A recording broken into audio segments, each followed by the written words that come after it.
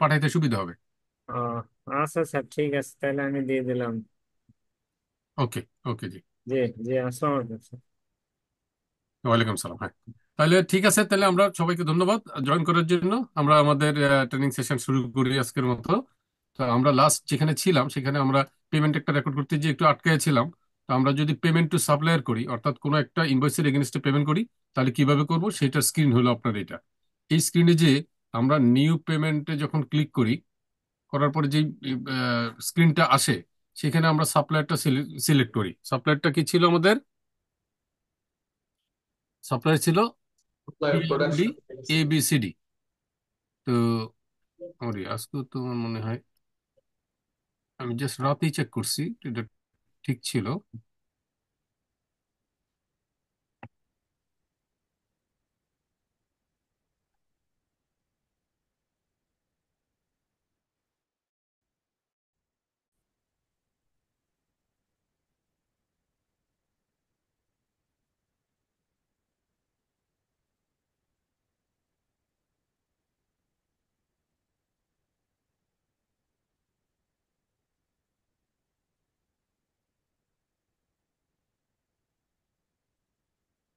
আচ্ছা আমরা এই একই ফাংশনটা সেলস এর মাধ্যমে একটু দেখি।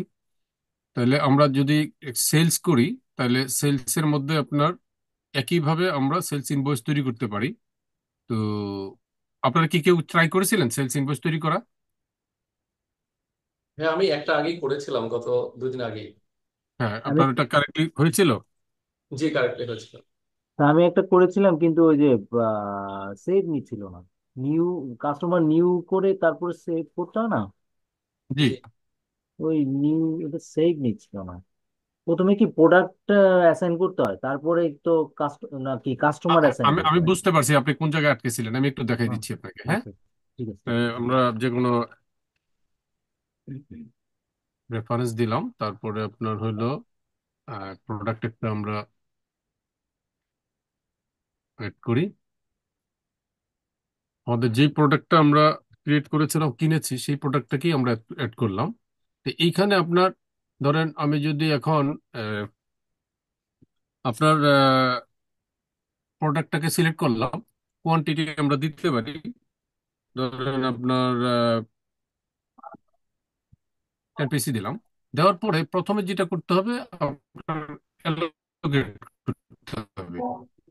তো এখান থেকে যদি অ্যালোকেশনটা না হয়, তাহলে আপনার সে সেভ করতে দিবে না। এই এখানে আমরা অ্যালোকেট করে দিলাম, করে দিয়ে এখন আমরা প্রাইসটা দিয়ে দিই। সাপোজ প্রাইস হলো টোয়েন্টি এখন এটার মধ্যে লেজারটা সিলেক্ট করে দিলাম লোকাল পারচেজ আর ট্যাক্স কোড দিয়ে দিলাম ভিএটি ফিফটিন পার্সেন্ট তো দেওয়ার পরে আপনার এটা সেভ করলাম। আপনার এবার দেখেন, এই যে সেভ নিয়ে নিয়ে নিল।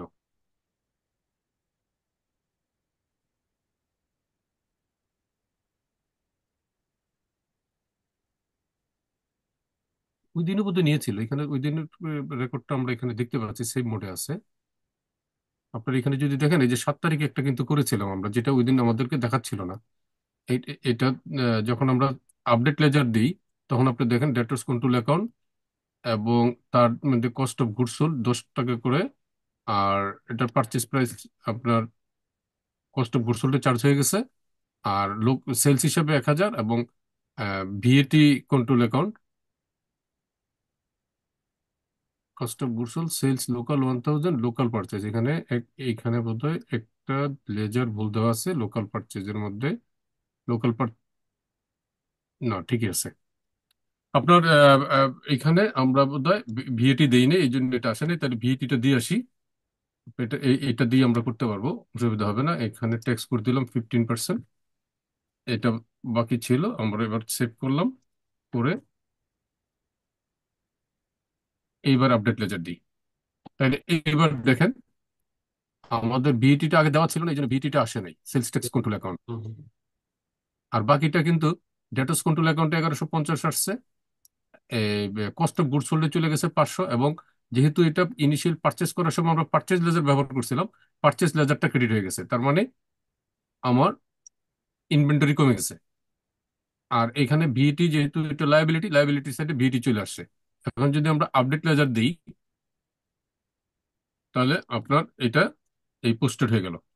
তো যেহেতু পোস্টেড হয়ে গেল, এখন আমরা আমাদের যেখানে যেখানে এটা হিট করার কথা, সেখানে যেয়ে আমরা দেখতে পারব। তাহলে প্রথমেই যাই আমরা মাস্টার ডাটাতে মাস্টার ডাটাতে কাস্টমার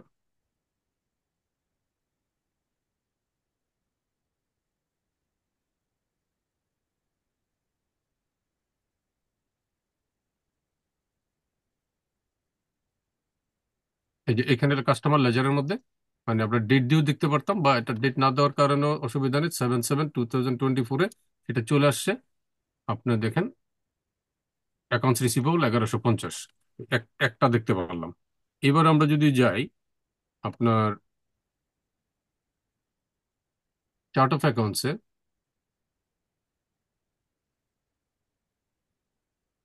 চার্ট অফ অ্যাকাউন্টসে যদি যে আমরা লোকাল সেলস দেখি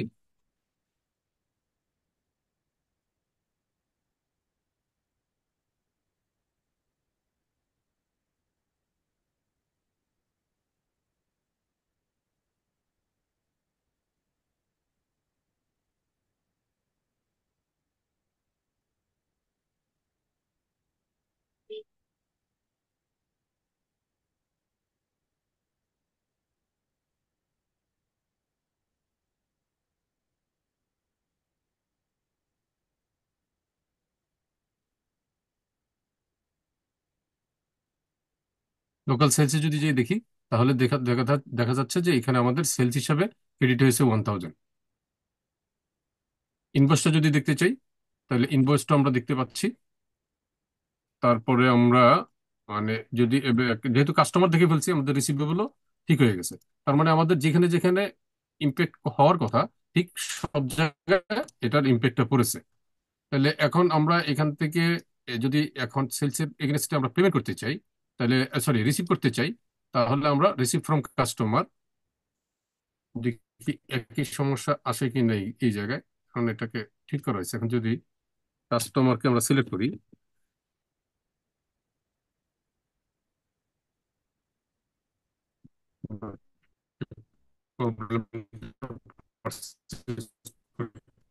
দুই জায়গার মধ্যে করে নিচ্ছি এক্ষুনি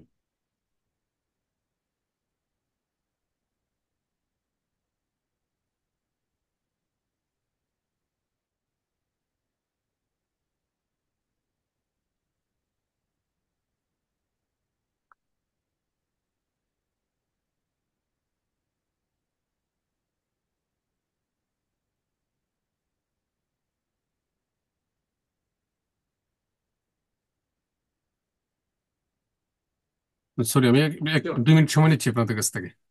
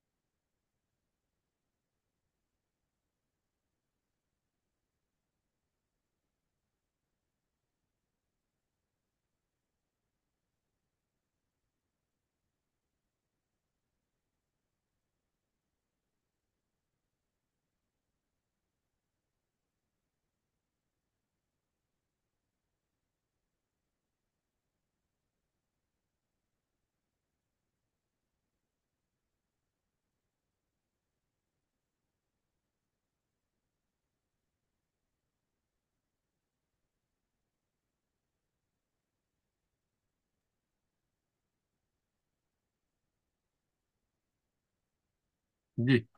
আমি যে ক- আমার কলিগকে পেয়ে গেছি। সে জয়েন করতেছে এখানে। তাকে দেখাই দিচ্ছি। সে এটা ব্যাকগ্রাউন্ডটা ঠিক করে ফেলবে। ততক্ষণে আমরা অন্য দিক, অন্যগুলি দেখব। ঠিক হয়ে গেলে আবার এটা দেখব।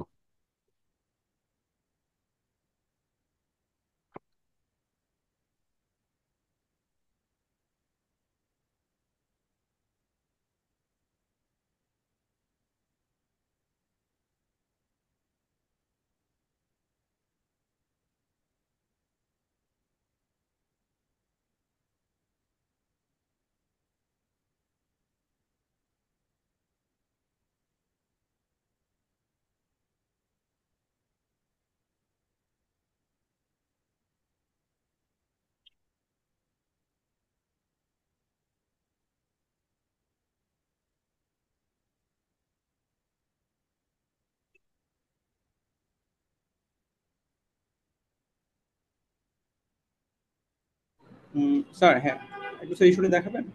হ্যাঁ শাওন একটু দেখেন। এটা হলো আমি যখন নাকি এই যে রিসিভের মধ্যে গেলাম হ্যাঁ? রিসিভ ফ্রম কাস্টমার এই রিসিভ ফ্রম কাস্টমারে আমি যখন কাস্টমার সিলেক্ট করে দিচ্ছি তখন তার কাছে কোনো বকেয়া থাকলে সেই বকেয়াটা সহকারে এখানে আসার কথা সেখানে এরর দেখা এরর দেখাইতেছে। আচ্ছা স্যার এবং এখানে একটা লাইন আসার কথা তার কাছে কত বাকি আছে? কত আগে পেমেন্ট পাওয়া গেছে ওই জিনিসটা মানে শো করতেছে না। কাস্টমার তাহলে আব্দুর প্রট এবিসিডি না? Customer P R OD dash ABCD এই কাস্টমার হয়তো না কাস্টমার এখানে রেকর্ড আছে। আপনার ধরেন আমরা যদি কাস্টমারকে দেখতে চাই তাহলে সেখানে মাস্টার ডাটা থেকে আমরা যখন কাস্টমার দেখি আমি আপনাকে দেখাচ্ছি। কাস্টমার প্রোডাক্ট এবিসিডি এই যে এখানে আছে প্রথমটাই। এটা যদি আমরা ওপেন করি তাহলে এই যে দেখেন তার এখানে ট্রানজেকশন আছে seven seven twenty four invoice number এত তার কাছে আপনি দেখেন টোটাল পাওনা আছে এগারোশো পঞ্চাশ। আমি দেখতেছি আর অন্য কোনো এই মুহূর্তে এটা এটা দেখলেই হবে। তারপরে আমার মনে হয় কোনো জায়গায় কোনো লিঙ্ক ব্রেক ব্রেক হয়েছে আর কি। আপনি একটু দেখেন হ্যাঁ? হ্যাঁ আমাকে কালকে কালকে মুকিত পরশুদিন পরশুদিন মুকিত আমাকে কনফার্ম করছে যে চেক করছে সব ঠিক আছে। কিন্তু এখন আবার আমি গতকালকে একটা ট্রানজাকশন করছি সেটাও ঠিক আছে। কিন্তু আজকে আবার একই ঘটনা মানে ইস্যু হচ্ছে আমাদের মানে কাস্টমারের ইস্যু হচ্ছে। হ্যাঁ একটু আপনি দেখেন হ্যাঁ? হ্যাঁ ওকে আচ্ছা। তো আমরা মানে সেলস ট্রানজেকশন এবং পারচেস ট্রানজেকশনের যে রিসিপ্টটা বা পেমেন্টটা আছে এটা আমরা আবার পরে দেখব। তো আমরা এখন একটা অন্য মডিউলে যাই, যেখান থেকে আমরা মানে মানে আরও বাকিটা দেখতে পারব। যদি আমরা পেরুলটা যেহেতু একটু টেকনিক্যালিটিস আছে, সেটার মধ্যে যাব। তার আগে একটু এইচআর সম্পর্কে ধারণা নিয়ে, দিয়ে নিই আপনাদেরকে। ওই দিনে বোধহয় ধারণা কিছু একটা দিয়েছিলাম। সেটা হলো হিউম্যান রিসোর্স ম্যানেজমেন্ট এটা একটা মডিউল যে মডিউলটাতে একজন এমপ্লয়ির পুরো লাইফ স্টার্টিং থেকে, অর্থাৎ তাকে রিক্রুটমেন্ট থেকে শুরু করে, একদম তার রিটায়ারমেন্ট রেজিগনেশন সহকারে ফাইনাল সেটেলমেন্ট সম্পূর্ণরূপে এর মধ্যে কভার করা যায়। কাজেই কোনো কিছুই আপনার মানে আউটসাইড দ্য সফটওয়্যার আপনার মেনটেন করা লাগবে না। যত এমপ্লয়ি রিলেটেড রেকর্ড আছে। তাহলে এটা শুরু হয় জেনারেলি রিক্রুটমেন্ট থেকে। রিক্রুটমেন্টের মধ্যে আপনাদের যদি হেডকাউন্ট অ্যাপ্রুভাল নিতে চাই, কথার কথা, যে আমাদের একটা পজিশন আছে, এই পজিশনে দশজন লোক নিতে হবে। নট নেসেসারিলি দশজন লোককে আজকেই নিতে হবে। হয়তো দেখা গেল যে এখন নিতে হবে একজন, আবার ছয় মাস পরে নিতে হবে একজন, দুই বছর পরে নিতে হবে একজন বাট টোটাল অর্গানাইজেশন চার্টটা অ্যাপ্রুভ করার জন্য আমরা হেড কাউন্ট অ্যাপ্রুভালটা করে থাকি। তো এর মাধ্যমে আমরা কীভাবে করি? অ্যাড নিউতে দিলে এরকম একটা ফিল্ড চলে আসে যে আমার জবের টাইটেলটা কি হবে? এই জব টাইটেলটা এখানে সিলেক্ট করব আমি যদি আমি কনফিগারেশনে জব টাইটেল ক্রিয়েট করে আসি। নাইলে কিন্তু জব টাইটেলটা এখানে ভিজিবল হবে না। তারপরে কোন ডিপার্টমেন্টের জন্য সেটা সিলেক্ট করতে পারি, কোন লোকেশনের জন্য সেটা সিলেক্ট করতে পারি নাম্বার কতজন লাগবে সেটা সিলেক্ট করতে পারি, এবং এই পজিশনে কার কাছে সে রিপোর্টিং করবে, সেটাও আমি আমার ডাটাবেস থেকে আমরা সিলেক্ট করে ফেলতে পারি। তাহলে আমার একটা জব ক্রিয়েট করলাম জবের পজিশন কতটা হবে এবং সে কার কাছে মানে রিপোর্টিং করবে, তার বস রিপোর্টিং বসটা কে হবে সেটা আছে এবং এপ্রুভাল যেহেতু করব, আমরা এখানে জাস্টিফিকেশন দিতে পারি যে এই পজিশনটা কেন দরকার, কি ধরনের দরকার। তখন আমরা জাস্টিফিকেশন দিয়ে এটা সাবমিট যখন করি, তখন এটা চলে যায় হলো আপনার যে অ্যাপ্রুভ করবে তার কাছে। এপ্রুভ কার কে করবে সেটা কীভাবে দেখব? এই যে এখানে স্ট্যাটাস আছে স্ট্যাটাসের মধ্যে আমরা দেখতে পারব যে কোনটা কোন স্ট্যাটাস আছে। কিন্তু কার কাছে যাবে, সেটা আমরা সিলেক্ট করতে পারি ওয়ার্ক ফ্লো ম্যানেজমেন্টের মাধ্যমে, যে এটার জন্য মানে অ্যাপ্রুভালকারী কে কে হবে। অথবা আমরা যে জবটা ক্রিয়েট করার সময় যাকে রিপোর্টিং বলি, তাকে যদি ক্ষমতা দেওয়া থাকে, তাহলে তার কাছে চলে যাবে, সে ওইটাকে অ্যাপ্রুভ করবে। কিন্তু নর্মালি একটা অর্গানাইজেশনে পোস্ট ক্রিয়েশনের ব্যাপারে স্ট্র্যাটেজিক স্ট্র্যাটেজিক ডিসিশন এবং সেটা উপরের লেভেলে যেতে হয়। তাহলে সেগুলি আমরা সেট করে দিতে পারব। তাহলে আমাদের যদি মানে জবটা এপ্রুভ হয়ে যায় এপ্রুভ হয়ে গেলে আমাদের তখন অর্গানোগ্রামের মধ্যে আপনার এই জিনিসটা দেখাবে। তাহলে এখন স্ট্র্যাটেজিক লেভেলে ধরেন আমি দশজন একটা পজিশনে নিব, এটা আমার অ্যাপ্রুভ করা আছে। তো এখন একই সাথে তো দশজন নাও লাগতে পারে। তাহলে যেই ডিপার্টমেন্টের লোক দরকার, সেই ডিপার্টমেন্ট একটা রিকুইজিশন দিতে পারে, যেটাকে আমরা বলি man power requisition man power রিকুইজিশনটা সে তখনই দিতে পারবে যদি এটার এগেনস্টে অ্যাপ্রুভ করা পজিশন থাকে। যদি অ্যাপ্রুভ করা পজিশন না থাকে বা তার থেকে বেশি নিতে হয়, তাহলে কিন্তু সে পারবে না। তখন আগে হেড কাউন্ট অ্যাপ্রুভালটা করাই এসে তারপরে করতে হবে। তো এইখানে আমরা অ্যাড নিউ দিয়ে রিকুইজিশন রেজ করতে পারি। রিকুইজিশনের মধ্যে কত তারিখের মধ্যে আমার অ্যাপ্লিকেশনের ডেডলাইনটা হবে, তারপর এটা ভ্যাকেন্সি টাইপটা কি, এটা কি কোনো একটা এমপ্লয়িকে রিপ্লেস করার জন্য নাকি নতুন এমপ্লয়ির জন্য জব টাইটেলটা কি হবে এইটা আমরা মানে কনফিগারেশন তৈরি করলে সেটা ওইখান থেকে চলে আসবে। ডিপার্টমেন্ট সিলেক্ট করে দিতে পারব জব গ্রেড থাকলে সেটা দিতে পারব। ভ্যাকেন্সি থাকলে সেটা নাম্বার অফ ভ্যাকেন্সি কয়টা সেটাও বলতে পারব। তারপরে এমপ্লয়মেন্ট টাইপ এটাকে ফুল টাইম না পার্ট টাইম সেটাও লিখতে পারব। এইখানেও রিপোর্টিং কে সেটাও আমরা এখানে মেনশন করতে পারব।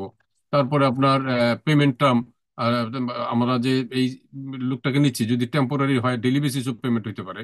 যদি পার্মানেন্ট পোস্টের এগেনস্ট হয়, তাহলে মান্থলি পেমেন্ট হইতে পারে উইকলি পেমেন্ট হইতে পারে। কনসালটেন্ট হইলে ইয়ারলি পেমেন্ট হইতে পারে। তো সাধারণত ইয়ারলিটা ব্যবহার করে না কেউ এইসব ক্ষেত্রে।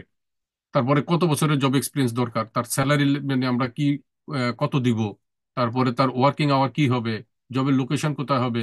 ট্রেনিং অ্যান্ড স্পেশালাইজেশন কি দরকার হবে? এডুকেশনাল রিকোয়ারমেন্ট কি? মেজর ডিউটিস এন্ড রেসপন্সিবিলিটি কি? আদার রিকোয়ারমেন্ট কি? জাস্টিফিকেশন দেওয়া যেতে পারে যে এখনই লাগতেছে কেন? তারপরে যদি আপনার জবের ডেসক্রিপশন থাকে, সেটাকে আমরা ফরম্যাট অনুযায়ী আপলোড করেও রাখতে পারি এখানে। এখানে আপলোড করে রাখলে যখন আমরা অ্যাডভার্টাইজমেন্ট করব, ওইখানে এটা ভিজিবল হবে। তো এখানে দেওয়ার পরে সেভ করে ফেলব। সেভ করার পরে এটা আপনার অ্যাপ্রুভাল প্রসেসে চলে যাবে। অ্যাপ্রুভাল প্রসেসে এটা অ্যাপ্রুভাল হয়ে গেলে তখন আমাদের যেই নেক্সট স্টেপটা আসবে ম্যান রিকুইজিশনের পর্যায়ে আমরা বলতে পারি রিকোয়েস্ট ফর অ্যাপ্রুভাল করার পরে এরপরে ক্রিয়েট ভ্যাকেন্সি আমাদের সিস্টেমের মধ্যে ভ্যাকেন্সিটা ক্রিয়েট হবে। হওয়ার পরে আমরা এটা যদি আপনার ধরেন বিডি জবসে পাবলিশ করতে চাই, তাহলে বিডি জবসের একটা এপিআই আছে। আবার আমাদেরও এপিআই আছে। আমাদের এপিআইটা বিডি জবসের এপিআই তে কানেক্ট করা যায়, আবার বিডি জবসের এপিআই তে আমাদের আবার আমাদের যে কোম্পানির জন্য আমরা এই সফটওয়্যারটা দিচ্ছি। এই কোম্পানির যদি নিজস্ব ওয়েবসাইট থাকে, তাহলে এটা তার ওয়েবসাইটের মধ্যে পাবলিশ করা যাবে। তো যাই হোক পাবলিশ করার পরে অ্যাপ্লিকেশন আসবে। অ্যাপ্লিকেশন গুলি আপনার একটা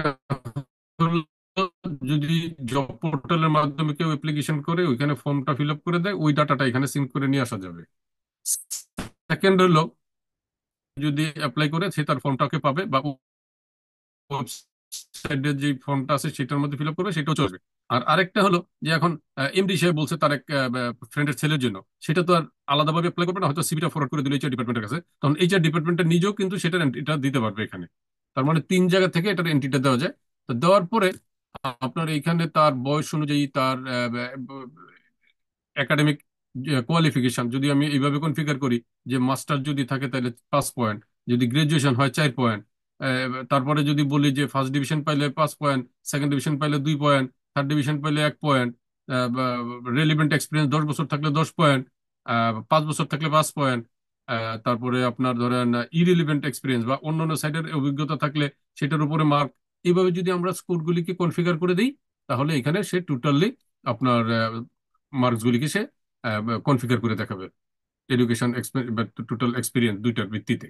এইখান থেকে আমরা যদি ধরেন আপনার এখন পাঁচশো জনের অ্যাপ্লিকেশন পাইলাম, পাঁচশো জনকে তো আর নিব না, আমরা শর্ট লিস্ট করতে পারি। তাহলে ফাংশনাল হেড যে সে এটা থেকে শর্ট লিস্ট করতে পারে যে কাদেরকে আমরা ইন্টারভিউতে ডাকবো।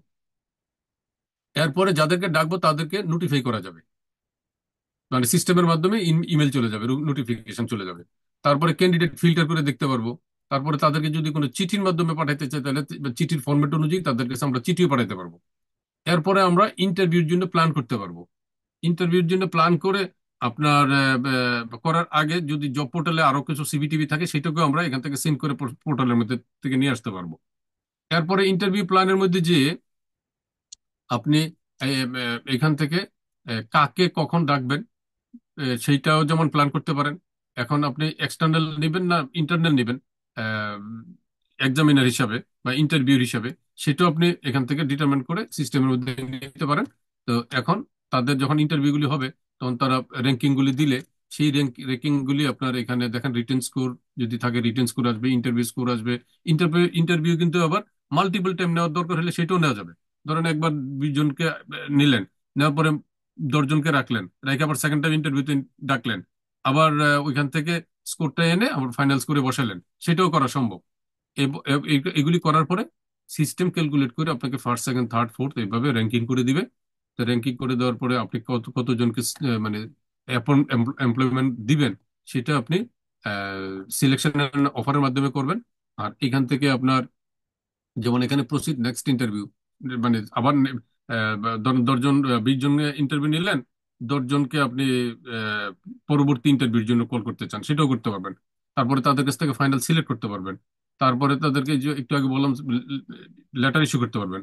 Send compensation letter compensation letter বলতে অনেক সময় এরকম হয় যে আপনার আহ, আমরা চাচ্ছি তাকে পঞ্চাশ হাজার টাকা বেতন দিতে। এমন একটা ভালো ক্যান্ডিডেট পাওয়া গেল যে অলরেডি আচ্ছা ভাই ঢাকা থেকে রফিক সাহেবের একটা কল আসছে। হ্যাঁ রফিক সাহেব। হ্যালো স্যার আসসালামু আলাইকুম। ওয়ালাইকুম আসসালাম আমি কল দিছিলাম ওই যে যখন আহ, শুরু করি আর কি তখন এটা রেকর্ডিং এ দেওয়ার জন্য। অন্য কোনো কারণে আমি ওর একটা ট্রেনিং এ ছিলাম তো স্যার। ট্রেনিং এ ছিলাম আর একটা ট্রেনিং চলছে সাপ্লাই যার জন্য স্যার কলটা রিসিভ করতে পারি সরি স্যার। কোনো অসুবিধা নেই কোনো অসুবিধা নেই। এটা দিয়ে দিয়েছে মোশারফ আসছিল। অসুবিধা নেই। ওকে স্যার জি। জি স্যার জি জি হ্যাঁ তারপরে আপনার ধরেন এখন আমরা পঞ্চাশ হাজার টাকা বেতন দিতে চাচ্ছি কিন্তু যে ক্যান্ডিডেট পাওয়া গেছে সে অলরেডি ষাট হাজার টাকা বেতন পারে যায় তার বেতনটা অ্যাডজাস্ট করার দরকার হতে পারে। তখন এটার জন্য আবার এপ্রুভাল প্রসেসে যেতে হবে। তো এই জন্য কম্পেনসেশন লেটার তৈরি করে সেটা আবার স্যালারি এপ্রুভালের জন্য হায়ার কি কারণ আপনি তো অ্যাডভার্টাইজ করছেন পঞ্চাশ। এখন তাকে যদি বেশি বেতন দিয়ে রাখতে হবে এক্সেপশনাল ক্যান্ডিডেট হিসেবে, তাহলে সিনিয়র ম্যানেজমেন্টের অ্যাপ্রুভাল লাগবে। আচ্ছা স্যালারি এপ্রুভাল হয়ে গেলে এরপরে আপনি যেটা করবেন সেটা হলো selection and offer selection and অফারের মাধ্যমে আপনি অফার লেটার মানে আপনার নিজস্ব থাকতে পারে অথবা আপলোড করতে পারেন, সেটা দিয়ে আপনি অফার করতে পারেন। যদি তাকে মেডিকেল করাইতে হয়, সাধারণত গভর্নমেন্ট সার্ভিসে বা ব্যাংক সার্ভিসে চাকরিতে জয়েন করার আগে একটা মেডিকেল টেস্ট করানো হয়। এটা যদি করতে চান, আপনার যদি অ্যারেঞ্জমেন্ট থাকে ধরুন ইউনাইটেড হসপিটালের সাথে, এখান থেকে দুইটা চিঠি যাবে, একটা যাবে ক্যান্ডিডেটের কাছে, একটা যাবে ইউনাইটেড হসপিটাল কর্তৃপক্ষের কাছে। তাহলে ক্যান্ডিডেট আপনার কি করবে? সেই চিঠিটা নিয়ে ওইখানে যে টেস্টটা করে চলে আসবে, আর ইউনাইটেড হসপিটাল আপনার আপনার কাছে মেডিকেল টেস্ট রিপোর্টটা পাঠিয়ে দিবে সিস্টেমের মাধ্যমে। তারপরে মেডিকেল টেস্ট হয়ে গেল। যদি অন্য কোনো ডকুমেন্ট তার কাছে চান, যেমন সার্টিফিকেটের কপি পাসপোর্টের কপি তারপরে তার হয়তো টিএন সার্টিফিকেট ইত্যাদি ইত্যাদি, যেগুলি আপনি চাইতে চাইবেন, সেগুলি তার কাছে রিকোয়েস্ট করলে সে ক্যান্ডিডেটের কাছে এগুলি চলে যাবে। এখন ক্যান্ডিডেট সাবমিট করার পরে হয়তো সে এসে জয়েন করবে আপনার কাছে। তো জয়েনিং ডেটে আপনি তার জয়েনিং রেকর্ড করতে পারবেন। তারপরে একই সাথে জয়েনিং এর আগে আপনি আইটি ডিপার্টমেন্ট বা অ্যাডমিন ডিপার্টমেন্ট তাদেরও কিছু কাজ থাকে জয়েনিং এর সময়। যেমন আইটি ডিপার্টমেন্ট হয়তো কম্পিউটারের ব্যবস্থা করবে, অথবা আপনার ক্যালকুলেটরের ব্যবস্থা করবে টেলিফোনের ব্যবস্থা করবে। আর এডমিন ডিপার্টমেন্ট হয়তো রুম এলোকেশন করবে, অথবা তারও কিছু এডমিন কাজ থাকতে পারে, যেমন তার আইডি কার্ড দেওয়া, তারপর, তারপরে তার রুমের চাবি থাকলে চাবি দেওয়া, ইত্যাদি। তো তারা ইনফরমেশন সিস্টেম থেকে অটোমেটিকলি পেয়ে যাবে, পেয়ে তাদের অ্যাকশনটা নিবে। তো এমপ্লয়ি আপনার এখানে জয়েন করল, আর যদি কন্ট্রাক্ট সাইন করা কোনো ডকুমেন্ট থাকে, সেটাও আপনি আপলোড করে রেখে দিতে পারবেন। তারপরে অনবোর্ড হয়ে গেল আপনার এমপ্লয়ি তাহলে রিক্রুটমেন্ট প্রসেসের পরে আপনার সাধারণত ট্রেনিং হয়। তো ট্রেনিং এর ক্ষেত্রে আপনি ট্রেনিং এর জন্য হয়তো সব এমপ্লয়ীদেরকে একই দিনে দিবেন না। আপনি কার কার, কাকে কখন কোন ট্রেনিং এ পাঠাবেন ট্রেনিং কি কি ইভেন্ট আছে? যেমন এখানে আপনার বিভিন্ন ধরনের ট্রেনিং এর নাম আছে, দেখেন। এই বিভিন্ন ধরনের training training on ERP training for basic course ইত্যাদি ইত্যাদি আপনার অর্গানাইজেশনে যেই যেই জিনিসগুলি দরকার, সেইভাবে আপনি ট্রেনিং এর ইভেন্ট তৈরি করতে পারেন। তারপরে ট্রেনিং এর প্ল্যান করতে পারেন। এই ট্রেনিং এর প্ল্যানের মধ্যে আপনার কাকে কখন কোন বেচে আপনি দিবেন, সেটাও যেমন করতে পারেন।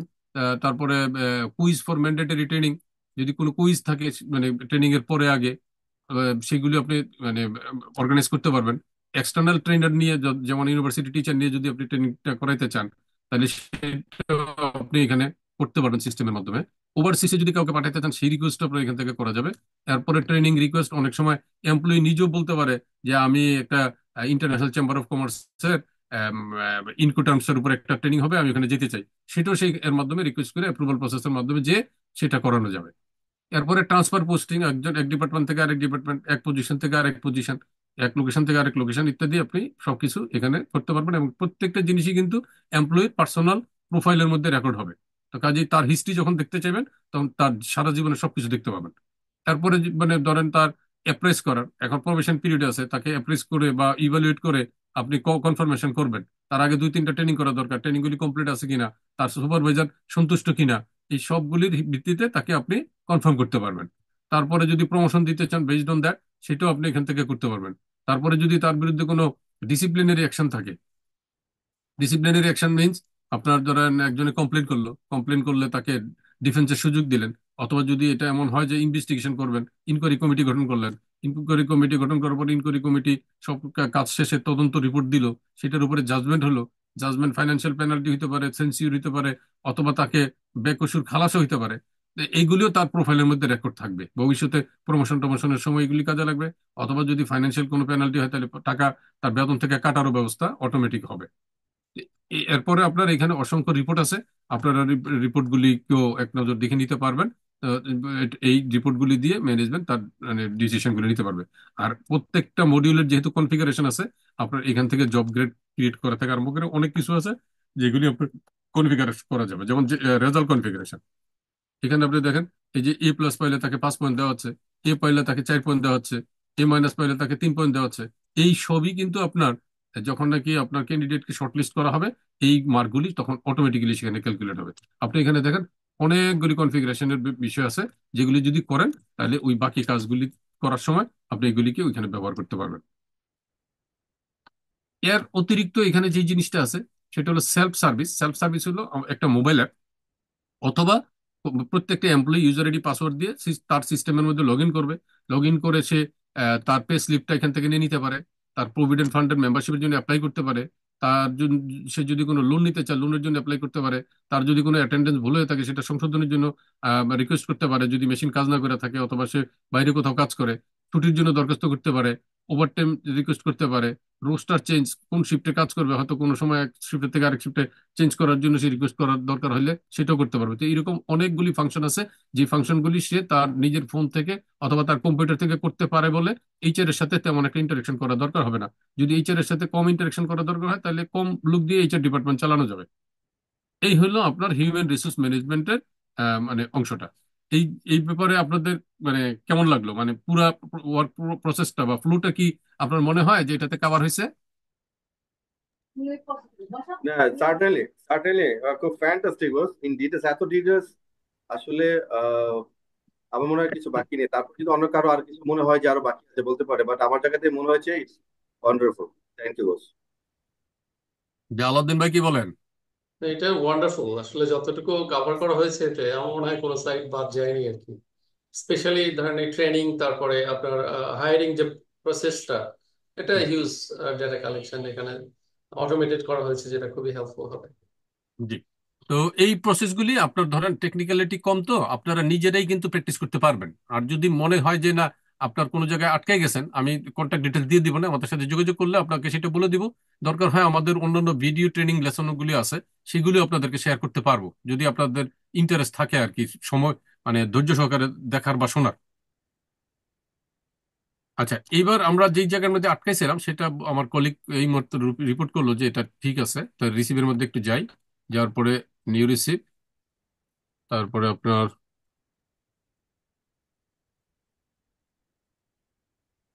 এই যে দেখেন, এখন ঠিক যে আছে সেটার প্রমাণ হলো, এই কাস্টমারের কাছে আমরা যে প্রোডাক্টটা বিক্রি করছিলাম, এটার মধ্যে টোটাল ইনভয়েস ভ্যালু ছিল এগারোশো পঞ্চাশ। দেখেন, তার কাছ থেকে এই পর্যন্ত কিছুই রিসিভ করি নাই। তার মানে এখন তার বাকি আছে এগারোশো পঞ্চাশ। এখন যদি আমি ধরেন দুশো টাকা রিসিভ করি, কথার কথা। দুইশো টাকা রিসিভ করলাম। দুইশো টাকা যদি আমি রিসিভ করি, তাহলে আপডেট দিলাম। আপডেট দেওয়ার পরে আপনার এখানে সেভ মোডে চলে আসলো। আপডেট লেজার দিলাম পেটিকেস ডেবিট হয়ে গেল অ্যাকাউন্ট রিসিভেবল হয়ে গেল। তাহলে এটার পোস্টিং হয়ে গেল। এবার যদি আরেকটা রিসিভ করি, একই কাস্টমারের কাছে, ধরেন। এইবার দেখেন, তার কাছ থেকে এগারোশো পঞ্চাশ রিসিভ করা মানে টাকা পাওনা ছিল অলরেডি রিসিভ হইল দুইশো, বাকি আছে নয়শো পঞ্চাশ। এখন ধরেন আরও পঞ্চাশ টাকা তার কাছ থেকে রিসিভ করলাম আর তাকে পঞ্চাশ টাকা আমি ক্যাশ ডিসকাউন্ট দিলাম। মানে আমি মানে জাস্ট একটা এক্সাম্পল স্বরূপ বলতেছি আর কি হ্যাঁ?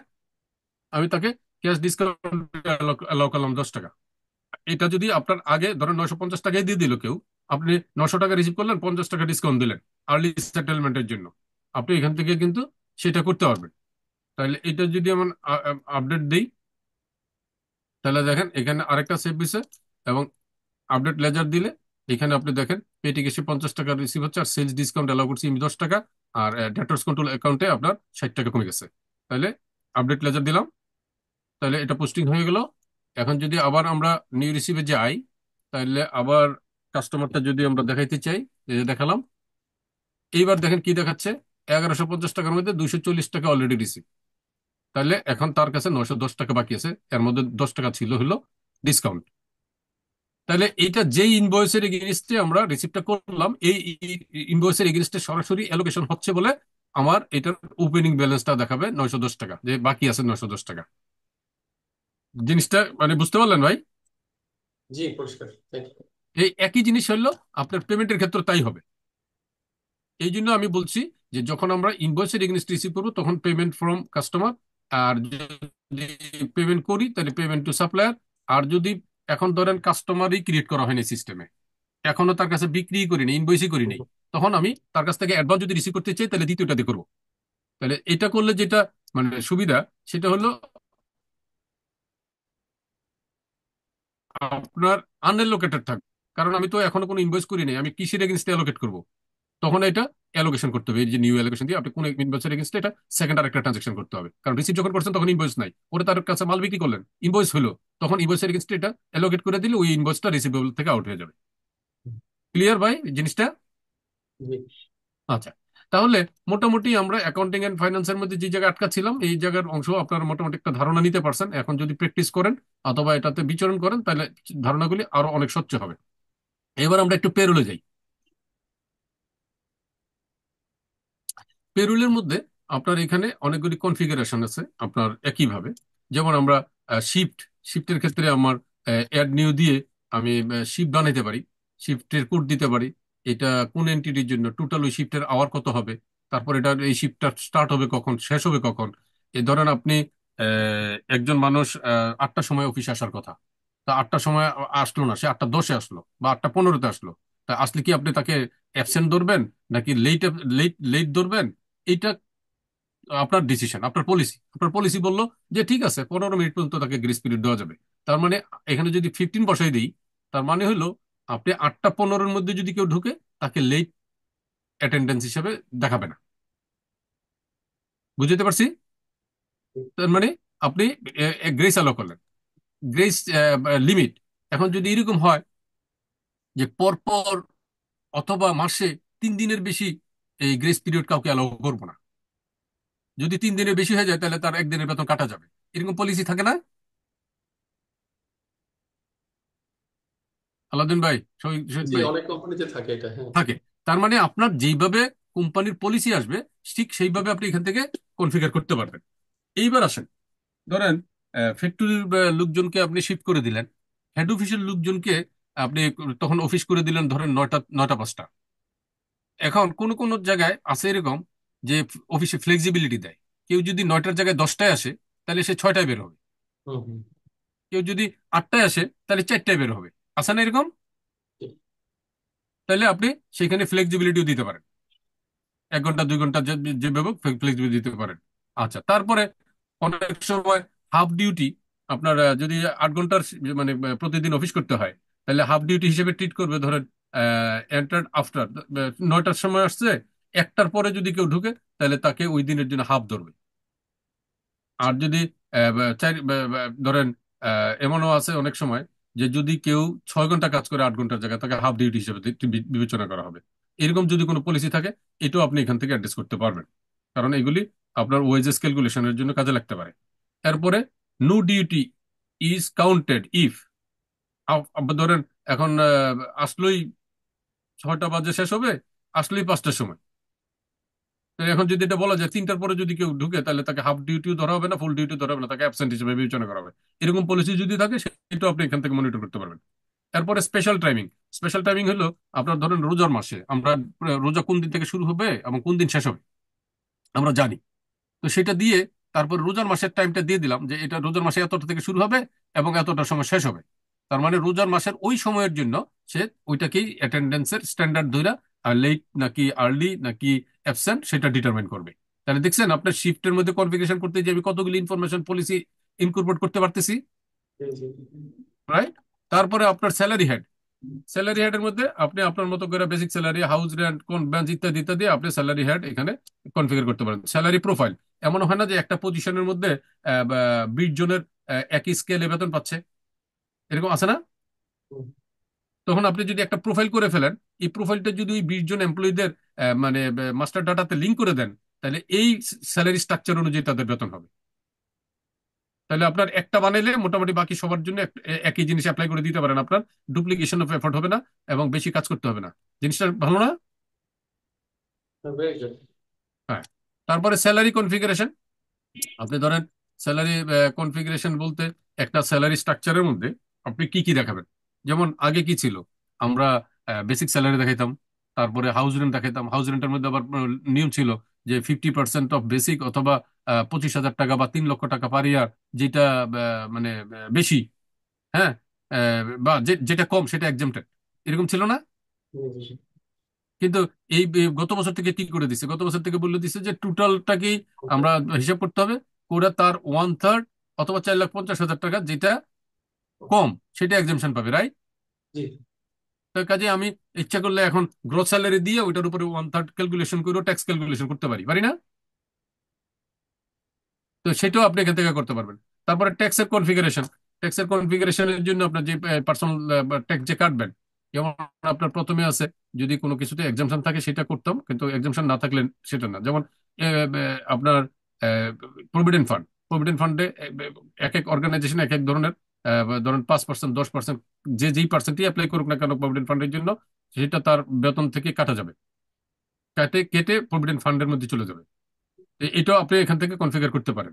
তারপরে ইনভেস্টমেন্টের অ্যালাউন্স ক্যালকুলেশন করতে পারেন বা কনফিগারেশন করতে পারবেন। তারপরে আপনার এরিয়া ওয়াইজ যদি মিনিমাম ট্যাক্স হয়, যেমন ঢাকা এবং চিটাঙ্গের জন্য পাঁচ হাজার minimum tax other city corporation জন্য চার হাজার, আর আদার ইউনিয়ন পরিষদ হলে তিন হাজার, সেগুলো আপনি এখান থেকে কনফিগারেশনে বসে দিতে পারবেন। তারপর ট্যাক্স স্ল্যাব যেমন এখন এখানে তিন লাখ থেকে তিন লাখ পঞ্চাশ। এইখানে যেভাবে আছে ফার্স্ট তিন লাখ না এটা আসলে ফার্স্ট ফার্স্ট তিন লাখ পঞ্চাশ হাজার এখানে ভুল ভুল লিখছে। তার মানে তিন লাখ পঞ্চাশ হাজার যদি হয় তাহলে শূন্য। তারপরের এক লাখ টাকার উপরে পাঁচ পার্সেন্ট তারপরের তিন লাখের উপরে দশ পার্সেন্ট তারপরের উপরে চার লাখের উপরে পনেরো পার্সেন্ট এইভাবে যেই বছর যেটা আসবে সেই স্ল্যাব আপনি এখান থেকে কনফিগার করে দিতে পারেন। উইমেনদের জন্য আলাদা হলে উইমেনদের জন্য দিতে পারেন। থার্ড জেন্ডারের জন্য সিনিয়র সিটিজেনের জন্য যাদের জন্য যেভাবে কনফিগার করা দরকার আপনি এখান থেকে ট্যাক্স কনফিগার করতে পারবেন। তারপরে ট্যাক্স এরিয়া যদি আপনি এখানে ডিটারমাইন করে দেন তাহলে ওই ট্যাক্স এরিয়া অনুযায়ী আপনার ওই মিনিমাম ট্যাক্সের হিসাবটা করবে। এই ট্যাক্স এরিয়াটা কোথায় আপনি লিঙ্ক করবেন? এমপ্লয়ির মাস্টার ডাটাতে লিঙ্ক করবেন। তাহলে বুঝতে পারবে যে ওই এমপ্লয়িটা কোন এলাকা থেকে কাজ করতেছে এবং তার মিনিমাম ট্যাক্স কত হবে। তারপরে লিভ টাইপস আপনার ক্যাজুয়াল লিভ তারপরে আর্ন লিভ তারপরে সিক লিভ এটা যেই যে প্রতিষ্ঠান যেভাবে প্রযোজ্য, সেইভাবে আপনার এখানে কনফিগার করতে পারেন। এখানেও কিন্তু অনেক ধরনের পলিসি ইনকর্পোরেশন করা যায়। বুঝছেন? এখন আপনার যখনই লিভের জন্য অ্যাপ্লাই করবে, তখন ব্যালেন্স চেক করবে কিনা? যদি লিভের জন্য অ্যাপ্লাই করে, যেমন মেডিকেল লিভের জন্য অ্যাপ্লাই করল বা সিক লিভের জন্য, এটার মধ্যে অ্যাটাচমেন্ট রিকোয়ার্ড কিনা?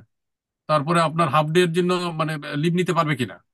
তারপরে লিভ যদি এখন বুধবারে অ্যাপ্লাই করে যে আমি বৃহস্পতিবার আর রবিবারে ছুটি নিতে চাই, তাহলে দুইটার মধ্যে মধ্যে যে হলিডে পড়ল একটা মানে উইকেন্ড এই উইকেন্ডটা কি মানে ছুটি হিসেবে বিবেচিত হবে নাকি এটাকে আউটসাইড ছুটি হিসেবে থাকবে? সেটাও কিন্তু আপনার এখান থেকে করতে পারতেছেন। তারপরে এটা কি এলএফ এর জন্য অ্যাপ্লাই করতেছে কিনা লিভ এনকেশমেন্টের জন্য অ্যাপ্লাই করতেছে কিনা এখানের উপরে কোনো ডিডাকশন হবে কিনা? তারপরে আপনার লিভ ফেয়ার অ্যাসিস্ট্যান্ট কিনা ক্যারি ফরওয়ার্ড এই লিভটা ক্যারি ফরওয়ার্ড করা যাবে কিনা? তো কোনো কোনো লিভ আছে জেন্ডারের উপর নির্ভর করে। যেমন ম্যাটার্নিটি লিভ ম্যাটার্নিটি লিভ হলে তো আপনি মহিলাদের জন্য প্রযোজ্য হবে। এই জন্য অ্যাপ্লিকেবল জেন্ডারও আপনি ডিটারমিন করে দিতে পারেন। তারপরে যদি পিলগ্রিম হয় অর্থাৎ হজের জন্য ছুটি তাহলে আপনি রিলিজিয়ন সেট করে দিতে পারবেন। তখন ওই মুসলমান না হলে সে হজের আহ, ই- আহ, ছুটি পাবে না। বা হিন্দু হইলে হিন্দুদের জন্য যেটা মানে ধর্মীয় ভাবে সেটা সে করতে পারবে না। ইত্যাদি ইত্যাদি। এবং কতদিন পর্যন্ত আপনি ম্যাক্সিমাম দিবেন? সারা জীবনে কি দশ দশ বছরে দশ বার যদি হজ করতে চাই, তাহলে দিবেন কিনা? নাকি একবারের জন্য দিবেন? এই সব কিছু আপনি কনফিগার করতে পারবেন। তাহলে দেখেন যে লাইফটা কত ইজি হয়ে যাচ্ছে। ঠিক সিমিলারলি শর্ট মুভমেন্ট আছে লিপ প্রোফাইল আছে হলিডে আছে হলিডে প্রোফাইল তারপরে শিফট অ্যালাউন্স প্রোফাইল এমন এমন আছে না যে রাতে কাজ করলে তাকে এক্সট্রা একশো টাকা দেওয়া হয় বা একটা অ্যালাউন্স দেওয়া হয়। তারপরে আপনি জানেন ইফতারের সময় কাজ করলে ইফতার অ্যালাউন্স দেওয়া হয়। সেহরির সময় কাজ করলে সেহরির ফুড অ্যালাউন্স দেওয়া হয়। এরকম আছে না? কোম্পানি টু কোম্পানি ভেরি করে না তাদের মানে পলিসি হ্যাঁ এই পলিসি সব আপনি এখান থেকে ইনকর্পোরেট করতে পারবেন। এক্সট্রা ডিউটি করলে সেই extra duty profile disbursement profile এমন হইতে পারে যে বেতনটা যাচ্ছে একসাথে আবার ওভার টাইমের বিলটা যাচ্ছে আলা- আলা- আলাদা। এই জন্য ডিসবার্সমেন্ট প্রোফাইলও আলাদা করতে পারেন। পেনাল্টি থাকলে পেনাল্টি প্রোফাইল করে দিতে পারেন বেতন থেকে কাটার জন্য। উইকেন্ড প্রোফাইল আলাদা করতে পারেন। এমন হইতে পারে অনেক অর্গানাইজেশনে আছে যে এক এক শিফটের এক এক দিন উইকেন্ড আবার অনেক এমপ্লয়ি আছে মানে দেখা যায় যেমন সিকিউরিটি গার্ড সিকিউরিটি গার্ড সাতজন আছে। আপনি সাতজনকে সাইকেলিক অর্ডারে একজন একজন করে ছুটি দিবেন। এক একদিন এক একজন অ্যাবসেন্ট থাকবে। তো ওইগুলি আপনি প্রোফাইল তৈরি করতে পারেন।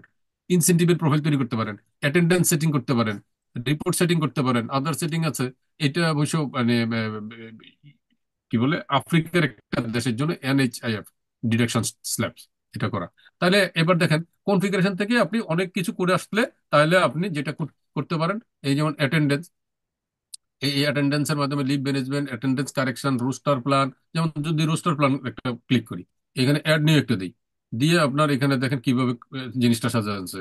রোস্টার একটা নাম্বার হবে এবং সেখানে আপনি এমপ্লয়ীদের কাছ থেকে যেই সেই এমপ্লয়ীদেরকে এই রোস্টার অন্তর্ভুক্ত করবেন, তাদেরকে এখান থেকে সিলেক্ট করে নিয়ে আসতে পারেন ডিপার্টমেন্ট অনুযায়ী আনতে পারেন টেরিটরি অনুযায়ী আনতে পারেন, ইত্যাদি করে যাদেরকে আপনি সিলেক্ট করবেন এখান থেকে, যে তাদেরকে এটাতে দিবেন। তখন এটা ইনক্লুড ইন রোস্টার তখন এটা এখানে আপনার রোস্টারের মধ্যে চলে আসবে। এবং এখানে যদি আপনার কার কোন দিন অফ সেটাও আপনার এখান থেকে চলে আসবে সেট করে দিয়ে আসলে। তো আপনি তাহলে রোস্টার করতে পারেন। সাধারণত রোস্টার কোথায় লাগে? হসপিটালগুলিতে লাগে। রোস্টার লাগে হলো বিভিন্ন ফ্যাক্টরিতে যেখানে শিফটের কাজ চলে। তার কাজেই আপনি ওইটা এখান থেকে সম্পূর্ণভাবে করতে পারবেন। তারপরে আছে হলো আপনার ওভার টাইমের জন্য রিকোয়েস্ট তারপরে ফিক্স শিফট অ্যানুয়ালিস অন কল ডিউটি হঠাৎ করে আপনি কোনো রোস্টারের মধ্যে নাই মানে ইলেকট্রিসিটি ফেল করল। আপনি ইলেকট্রিশিয়ানকে ডাইকা আইনা কাজটা করাইলেন। সে অন কল ডিউটিতে আসলো। সে যেহেতু অ্যাটেন্ডেন্স ডিভাইসের মধ্যে টাচ করে ঢুকতেছে টাচ করে বেরোতেছে সে যতটুকু করল এক্সট্রা কাজ এক্সট্রা কাজের জন্য এক্সট্রা রেট অনুযায়ী তাকে বেতন আপনি দিতে পারবেন। তো কাজেই এখান থেকে সবই আপনি মানে পেরুল রিলেটেড যত কিছু লাগে সেগুলো করতে পারেন ইনক্রিমেন্ট দিলে ইনক্রিমেন্টের আপনার চিঠি ইস্যু করতে পারবেন। ইনক্রিমেন্টটা কি আপনার এজ এ পার্সেন্টেজ হবে নাকি আপনার হলো কি বলে ফিক্সড অ্যামাউন্ট হবে, সেগুলি আপনি সবকিছু এইটার মাধ্যমে করতে পারবেন। তাহলে ইনক্রিমেন্ট গেল এই যে এখানে দেখেন জেনারেল ইনক্রিমেন্ট সবার জন্য একবারে দিয়ে দিতে চাচ্ছেন। তাহলে আপনি পার্সেন্টেজ অ্যাপ্লাই করে দেবেন। এখানে দিয়ে আপনি অ্যাড নিউতে দিলে আপনার এখানে যদি সবার জন্য দেন এখানে পার্সেন্টেজ তাহলে সবার জন্য এটা প্রযোজ্য হয়ে যাবে।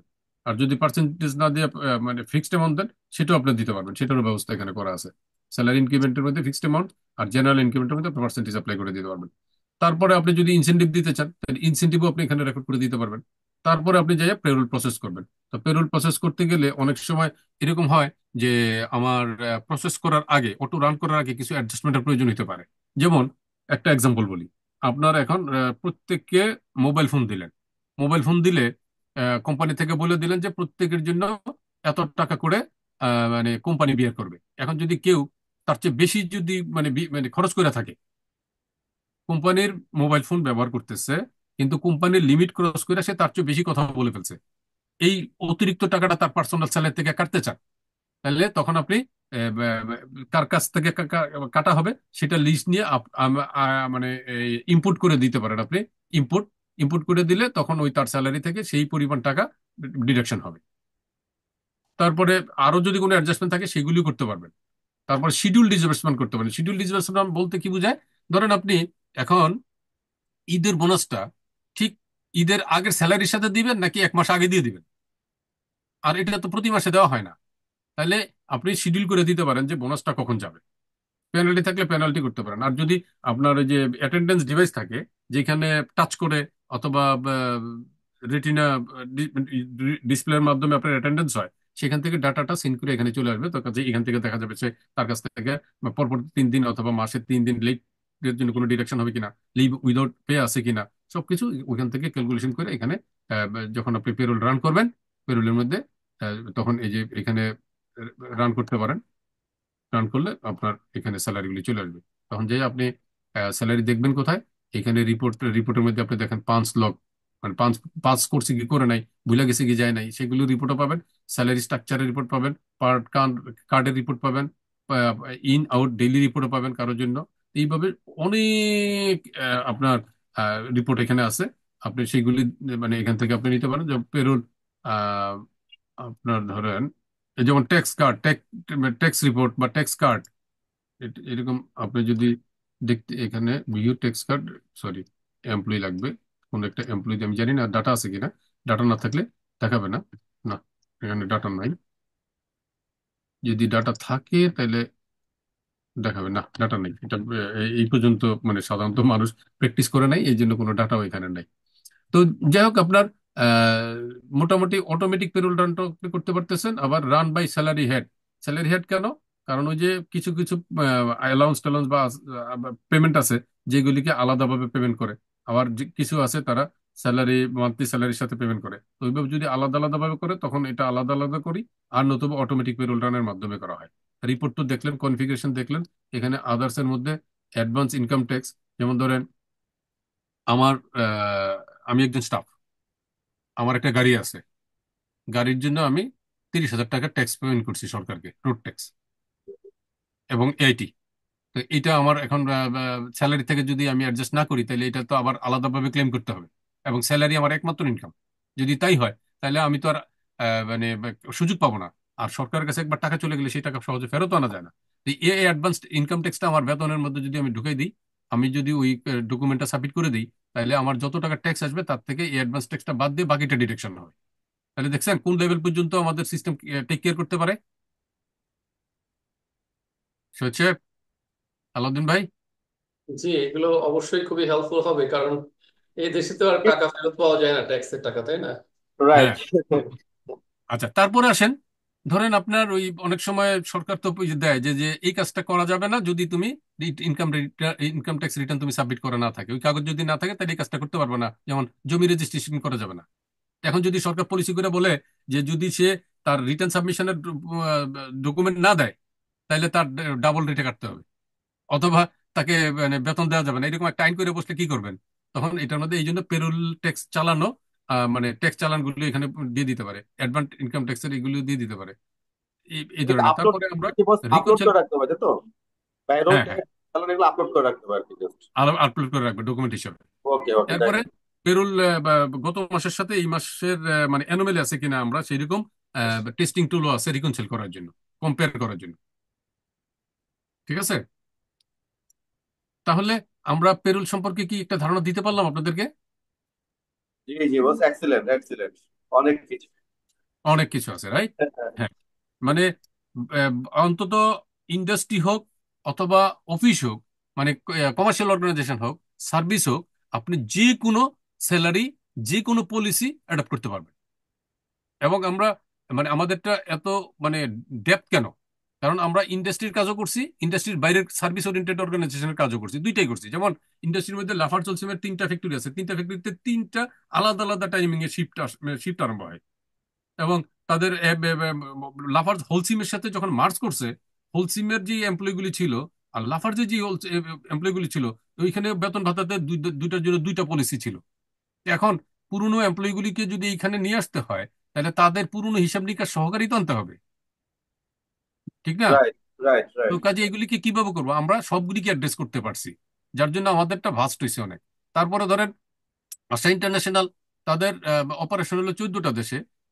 তেরোটা দেশের তেরো ধরনের ট্যাক্সেশন পেরোল ট্যাক্সেশনটা তেরো ধরনের না ভাই? অবশ্যই। এই তেরোটা দেশের তেরো ধরনের ট্যাক্সেশন আমার এই সফটওয়্যার মধ্যে ইনকর্পোরেট করতে হয়েছে বলে এটা আরও ভাস্ট হয়েছে এখন যে কোনো দেশকেই অ্যাড্রেস করা যায়। আচ্ছা আচ্ছা গুড বুঝলেন? এতে এই জন্য আর কি এটা ডেপনেসটা আমাদের ভালো। আচ্ছা এবার আসি আমরা।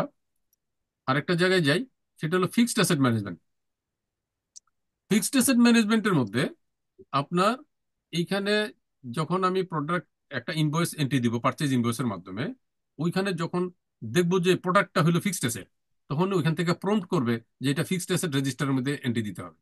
ফিক্সড অ্যাসেট রেজিস্টারের মধ্যে আমরা এন্ট্রিতে কীভাবে দিব?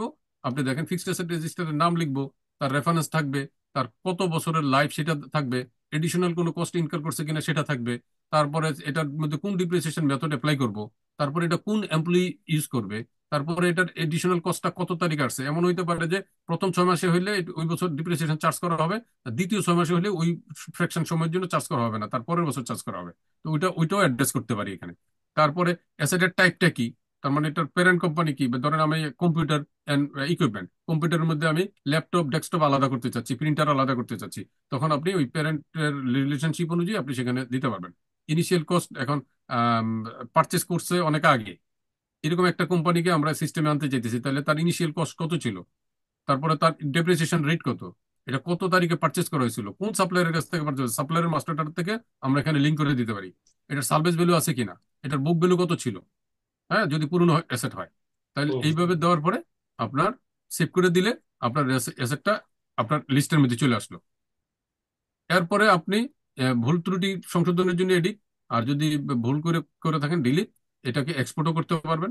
এরপরে যদি কোনো একটা অ্যাসেট ডিসপোজ করেন রাইট অফ করে দিতে চান সেটা যেই সময়ই হোক রাইট অফ করে দিলে আপনার ধরেন একটা অ্যাসেট আমি এখানে ধরলাম ধরে সেটা এটাকে রাইট অফ করতে চাইলাম। তাহলে রাইট অফ করতে চাইলে আমার এখানে যেই যেই জায়গার মধ্যে, যেই যেই জার্নালের মধ্যে হিট করার কথা, সেটা ডেট অনুযায়ী, কারণ এখানে তো অ্যাসেট কস্ট প্রাইস অটোমেটিক্যালি চলে আসবে সিস্টেম থেকে। অ্যাকুমুলেটেড ডিপ্রিসিয়েশন তো আপনার উল্টে দিয়ে জার্নালটা কমপ্লিট করে এটাকে জিরো বানাইতে হবে। এটা অটোমেটেড হবে, আপনি এটা ডিসপোজ করতে পারবেন। সেই সুযোগ আছে। আর যদি সেল করে কিছু টাকা পয়সা পান, তাহলে আপনার সেলস প্রাইস কত সেটা বসাই দিবেন। তখন আপনার গেইন না লস সে নিজে ক্যালকুলেট করে আপনার জার্নাল করে দিবে স্বয়ংক্রিয়ভাবে। বুঝতে পারলাম?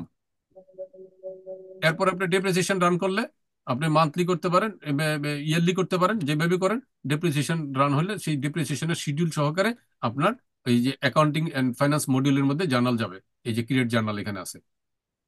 তাহলে আমার পেরুল থেকে পেরুল জার্নাল যাবে, এই ফিক্সড অ্যাসেট মডিউল থেকে ফিক্সড অ্যাসেটের জার্নাল যাবে, যদি এই দুইটা আপনার মডিউল ব্যবহার করা হয়। আর যদি ব্যবহার করা না হয়, তখন আপনি জার্নাল দিয়ে করতে পারবেন শুধুমাত্র জার্নাল দিয়ে করতে পারবেন। তবে যাদের অ্যাসেটের পরিমাণ অনেক বেশি তারা সাধারণত এই মডেলটা ব্যবহার করলে তারা অনেক মানে কি বলা যায় সহজে ট্রেসেবল একটা পদ্ধতিতে এবং কারেক্ট ক্যালকুলেশনে ম্যানুয়াল এত কষ্ট না কইরা আপনার এই- এই জিনিসটাকে আপনারা করে ফেলতে পারবেন। তাহলে অ্যাকাউন্টেন্টের লাইফ আরও সহজ হবে না? কি ভাই? হ্যাঁ অনেকটা সহজ হবে ডেফিনেটলি তাহলে দেখছেন আমাদের ফিক্সড অ্যাসেট মডিউলটা মোটামুটি ভাবে অনেক রিচ আচ্ছা এবার আমরা যাই ফিক্সড অ্যাসেট গেল। আমরা এবার একটু প্রোডাকশনে যাই, যারা প্রোডাকশন করে। সেটা হলো প্রোডাকশন আমরা শুরু হলো প্রোডাকশন অর্ডার ক্রিয়েট করে থেকে। তাহলে আমরা প্রোডাকশন অর্ডার তৈরি করতে পারি। তাহলে প্রোডাকশন অর্ডারের ক্ষেত্রে আমি কি বিবেচনা করি?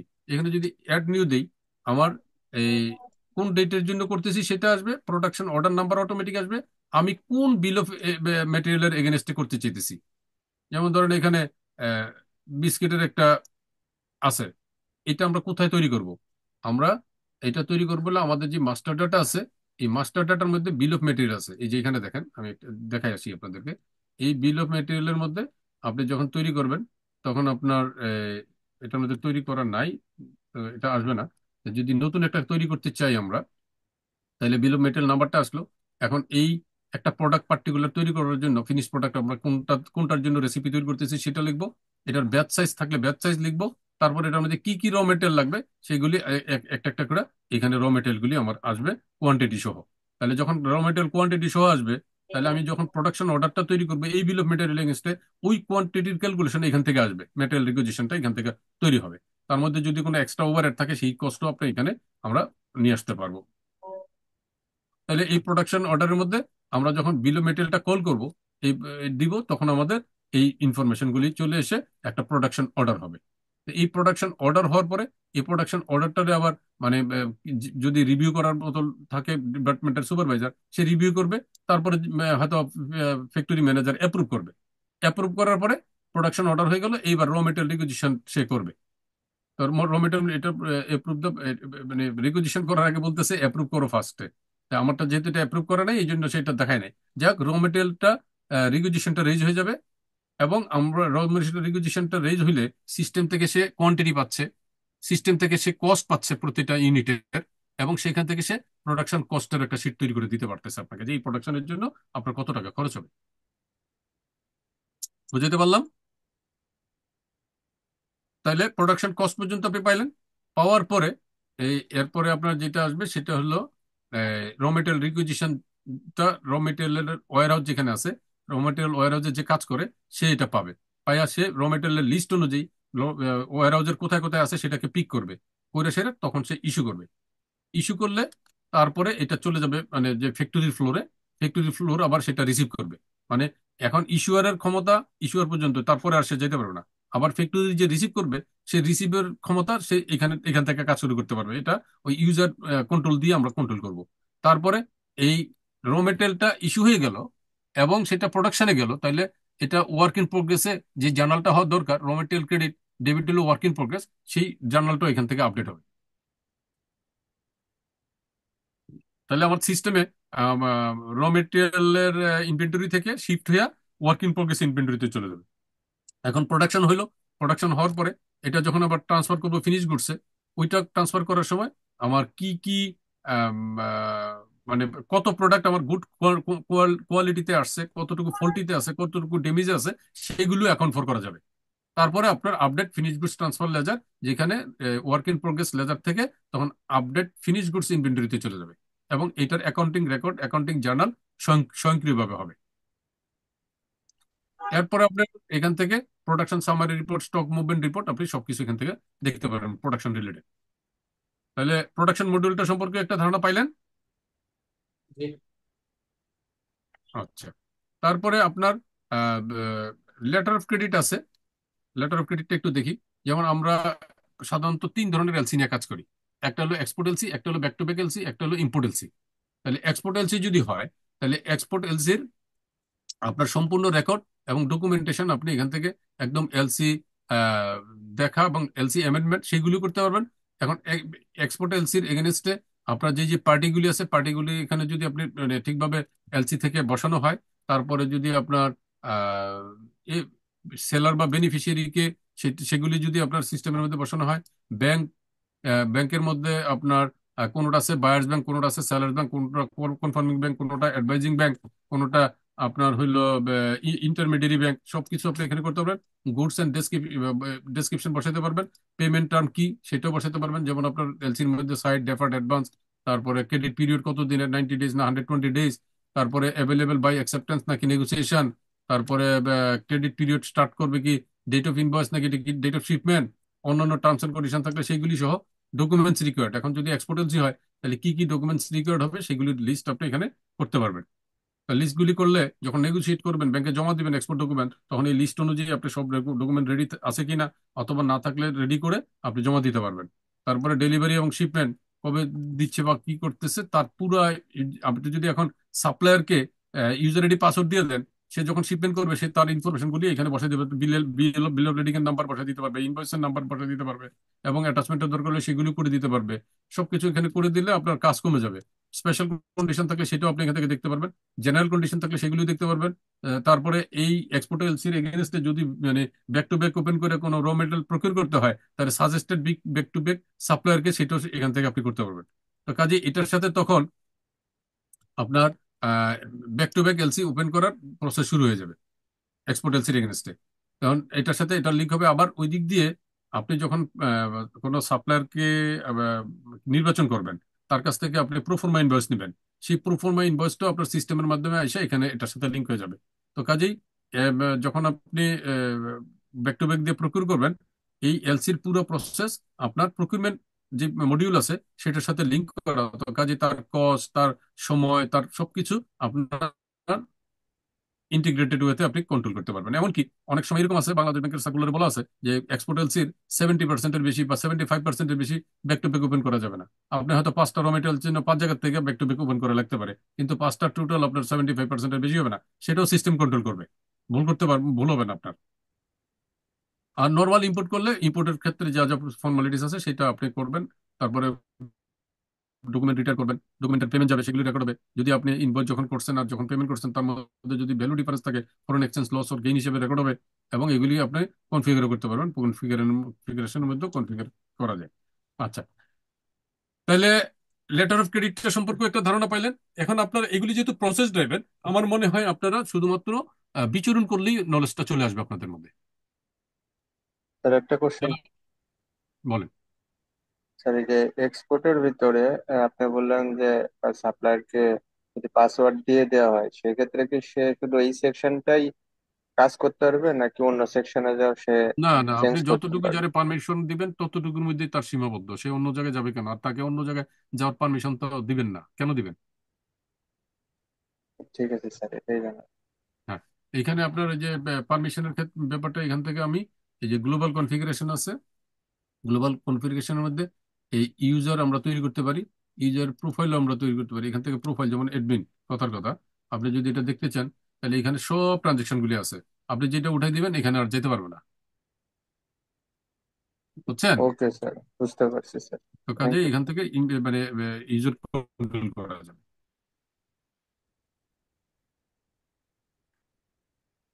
আচ্ছা। তাহলে আমরা মোটামুটি ভাবে এই ধারণা কিছু পাইলাম আজকে বেশ কয়েকটা মডিউলের তো আমাদের সময় আছে আরও, আধা ঘণ্টা আমরা মানে আরও দেখতে পারি। একটু কাস্টমার ম্যানেজমেন্ট তারপরে CRM activities lead by months CRM report extra অনেক কিছু। আর একটা জিনিস আমি একটু আগে দেখাইনি আপনাদেরকে, এই জিনিসটা দেখানো উচিত ছিল, দেখি এটা আছে কিনা। ধরেন হিউম্যান রিসোর্স ম্যানেজমেন্টের মধ্যে একটা ড্যাশবোর্ড আছে, যেখান থেকে আপনার এখানে ড্যাশবোর্ড থেকে আপনি এমপ্লয়ি সম্পর্কে ইনফরমেশন পাবেন। তারপরে যদি আপনার সামনে থাকে যে আপনি কোন কোন দিন আসছেন, না আসছেন, সেটাও আপনি দেখতে পাচ্ছেন। তারপরে যদি আপনার আন্ডারে কোনো এমপ্লয়ি থাকে, তারা কে কখন আসছে, না আসছে, সেটাও আপনি দেখতে পারবেন।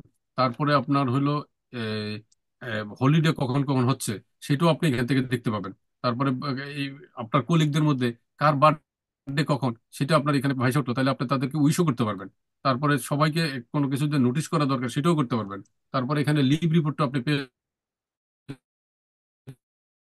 যাবেন যে কোন লিভ আছে আপনার কত আপনার টোটাল পাওনা, কতটুকু ভোগ করছেন, কতটুকু ব্যালেন্স আছে। এগুলো আপনি এই ড্যাশবোর্ড থেকে দেখতে পারেন। তাহলে দেখেন কত ইউজফুল এটা। তো আমরা এখান এখন আমরা যেটাতে দেখাইতে চাচ্ছি সেটা হলো কাস্টমার রিলেশনশিপ ম্যানেজমেন্ট তাহলে কাস্টমার সরি হ্যাঁ কাস্টমার রিলেশনশিপ ম্যানেজমেন্টের মধ্যে আপনার এখানে লিড একটা আছে একটা আছে অপরচুনিটি একটা আছে কোটেশন আর একটা অর্ডার সেলস অর্ডার টাইপ তার মানে আপনি যখন একটা মানুষের কাছ থেকে টেলিফোন রিসিভ করলেন অথবা আপনি পত্রিকাতে বিজ্ঞপ্তি দিলেন যে আপনি একটা প্রোডাক্ট বিক্রি করতে চান, ওইখান থেকে মানুষ আপনাকে কল করল। তাহলে যে রিসিপশন আছে, সে প্রথমেই কলটা রিসিভ করে তার সাথে কথা বলতে বলতে, ভাই, আপনি কে বলছেন? নামটা টাইপ করা হয়ে গেল। তারপরে আপনি কোত্থেকে বলছেন? এই জিনিসগুলি সহকারে আপনার আপনি কোত্থেকে জানতে পারছেন আমাদের? এইগুলি সহ। যে আমাদের সম্পর্কে কোথেকে জানছেন? সে হয়তো বা পত্রিকা থেকে জানতে পারে, সে ওয়ার্ড অফ মাউথ থেকে যেতে পারে। এটা একটা রিসার্চ হইতে পারে ভবিষ্যতে কাস্টমার অ্যাকুইজিশনের জন্য। তাহলে তার মোবাইল নাম্বারটা আপনি রেকর্ড করে ফেললেন। তাদের কোম্পানি যদি হয় তাহলে তার কোম্পানির ওয়েবসাইটটা রেকর্ড করে ফেলেন, যাতে আপনি তার সম্পর্কে স্টাডি করে পরে কথা বলতে পারেন ভালোভাবে। তারপরে এখন রিসিপশন তো আর মানে সবকিছু ইনফরমেশন তার সাথে শেয়ার করবে না। সে করবে কি তখন তার অন্যান্য সেলসের যে কলিগ আছে, তাকে রেফার করবে। নেক্সট কন্ট্যাক্ট কার সাথে কার সাথে করবে? তারপরে কোন দিন করবে? এমন হইতে পারে যে, ভাই, আজকে এই মুহূর্তে আমাদের সেলস কলিগ অফিসে নাই, সে ভিজিটে গেছে। আপনার নাম্বারটা দেন আমি রেকর্ড করি আপনার সাথে মানে সে আপনার সাথে ফোন করে কথা বলবে। তো কখন কথা বললে আপনার জন্য সুবিধা হয় সেই টাইমটাও আপনি এখান থেকে মানে রেকর্ড করে রাখতে পারবেন। বুঝতে পারছি? তার মানে আমার একটা লিড মানি হলো আমি একটা টেলিফোন কল থেকে আরম্ভ করে তার সাথে প্রাইমারি ডিসকাশন আমার রিসিপশন করুক অথবা যেই করুক তার সাথে আপনি মানে পুরো রেকর্ড করে ফেলতে পারেন। এক সেকেন্ড ভাই। মোহেদ আপনাকে ফোন দিয়েছিলাম হলো ওই যে আমাদের পেমেন্ট টু সাপ্লায়ার এবং রিসিভ ফ্রম কাস্টমার ওইটা কাজ করতেছিল না। পরে শাওন ওইটা ফিক্স করে দিছে ডেমো কোম্পানিতে এই মুহূর্তে আর দরকার নেই। আচ্ছা। ঠিক আছে। আচ্ছা আচ্ছা। ঠিক আছে আচ্ছা তাহলে আপনার দেখেন একটা কাস্টমারের একটা ডাটাবেস কিন্তু আপনার তৈরি হয়ে গেল। এইবার আসেন সে আমার আপনাকে বলল যে ভাই আপনি তো প্রতি বিজ্ঞাপন দিচ্ছেন সার বিক্রি করেন। তা আমি বললাম জি সার বিক্রি করি। ভাই, আপনারা কি লেডিস শার্ট বিক্রি করেন? তখন আমি বললাম যে, না ভাই, আমার লেডিস শার্ট বিক্রি করি না। তাইলে এই অপরচুনিটিটা মানে এই যে কথা বলাটা, এটা কিন্তু আর আগে বাড়াইলো না। কেন? কারণ সে চাই হলো লেডিস শার্ট, আমার কাছে আছে হলো ম্যান শার্ট। অসুবিধা নাই, তার রেকর্ডটা রয়ে গেল। ভবিষ্যতে আমরা যখন আবার একটা গার্মেন্টসের আরেকটা লাইন খুললাম, লেডিস শার্টও তৈরি করি, তখন তাকে আমরা মেল করে বলতে পারব, ভাই, আমাদের কাছে কিন্তু এখন লেডিস শার্ট আছে। তখন যদি সে ব্যবসাতে থাকে, সে আপনাদের কাছে লেডিস শার্ট নিতে তো পারে। তার মানে ইনফরমেশনটা পাওয়া কিন্তু আপনার জন্য লস না। আপনার ডাটাবেস স্ট্রং হইল। এটাও একটা অ্যাসেট তাহলে এখন যদি আপনি বলেন যে আমি তো ম্যান শার্ট বিক্রি করি, সেও বলল যে, ভাই, আমি তো ম্যান শার্ট চাচ্ছি। তাইলে এটা একটা অপরচুনিটি হয়ে গেল। তখন এখান থেকে আমরা এই জিনিসটাকে অপরচুনিটিতে কনভার্ট করে ফেলতে পারি। এটা কীভাবে করব? যেমন এখানে লিস্টের মধ্যে আপনার এই লিস্ট হয়ে গেল সেভ করার পরে এটা থেকে কনভার্ট টু অপরচুনিটি দেখেন এখানে কনভার্ট টু অপরচুনিটি আছে। তো কনভার্ট টু অপরচুনিটিতে গেলে এই ইনফরমেশন ইনফরমেশনগুলি যা আছে সবগুলি অটোমেটিক্যালি শিফট হয়ে যাবে। হ্যাঁ? তাহলে আমরা যদি অপরচুনিটিতে যাই, তাহলে আমরা যদি একটা খুলি, আপনি দেখেন আগে যতগুলি ফিল্ড ছিল, এটার মধ্যে কিন্তু অনেক বেশি ফিল্ড চলে আসলো। আপনি খেয়াল করে দেখেন, আগেরটা ছিল শুধুমাত্র কয়েকটা ফিল্ড এখন আপনার অনেকগুলি ফিল্ড চলে আসলো। তো এই ফিল্ডের মধ্যে ওটি এডিশনাল কি আসলো? এডিশনালের মধ্যে যেটা আসবে, সেটা হলো সে কি প্রোডাক্টের জন্য চাচ্ছে? আপনি আপনার ইনভেন্টরি যে মডিউল আছে প্রোডাক্টের যে মডিউল আছে মাস্টার ডাটা আছে, সেখান থেকে সেই প্রোডাক্টটাকে রিটেপ করে ফেলতে পারবেন। তারপরে আপনার সে কত কোয়ান্টিটি চাচ্ছে? তারপরে তারা যদি আপনি কোনো প্রায় মানে আগে কত প্রাইসে বিক্রি করেন বা আপনার সিস্টেমে কত প্রাইসে বিক্রি রেকর্ড আছে, সেটা এখানে চলে আসলো। তাহলে আপনি তার সাথে কথা বলতে সুবিধা হইল। প্রাইস নিয়েও কথা বলতে পারলেন। রাইট এইটা এইখানে প্রোডাক্ট লিস্টে চলে আসবে। যদি একের অধিক হয়, তাহলে একের অধিকও আপনার এখানে চলে আসবে প্রোডাক্ট লিস্টের মধ্যে। তার মানে কি? এখন তার সাথে কথা বললেন, বলার পরে তার সাথে যে যে বিষয়ে কথা হলো সেই তার একটা সারমর্ম আপনি এখান থেকে পেয়ে যাবে যে পরবর্তীতে তার সাথে কথা বলতে যাবে। তাহলে এখন অপরচুনিটিতে কথা বলতেছি। বলো এক প্রসঙ্গে বলল যে, ঠিক আছে ভাই, তাহলে আমার একটা কোটেশন পাঠা তাহলে আপনি এই অপরচুনিটিটাকে তখন আপনার কনভার্ট টু কোটেশন খেয়াল করে দেখেন। আপনি লিডে ছিলেন লিড থেকে অপরচুনিটিতে আসলো অপরচুনিটি থেকে এবার কোটেশনে শিফট করে ফেলতে পারতেছেন। তাহলে কোটেশনে যদি শিফট করে ফেলেন, তাহলে তখন এটা কোটেশনে চলে আসবে। কোটেশনে আসলে আপনি ধরেন যে কোনো একটা কোটেশন যদি আমরা এখানে এখানে ওপেন করি, তাহলে প্রোডাক্ট সহকারে বাকি ইনফরমেশন গুলি পাবো। কোনো তার সাথে স্পেশাল টার্মস এন্ড কন্ডিশন থাকলে সেটাও আমরা এখান থেকে দেখতে পারব। আর যদি আমরা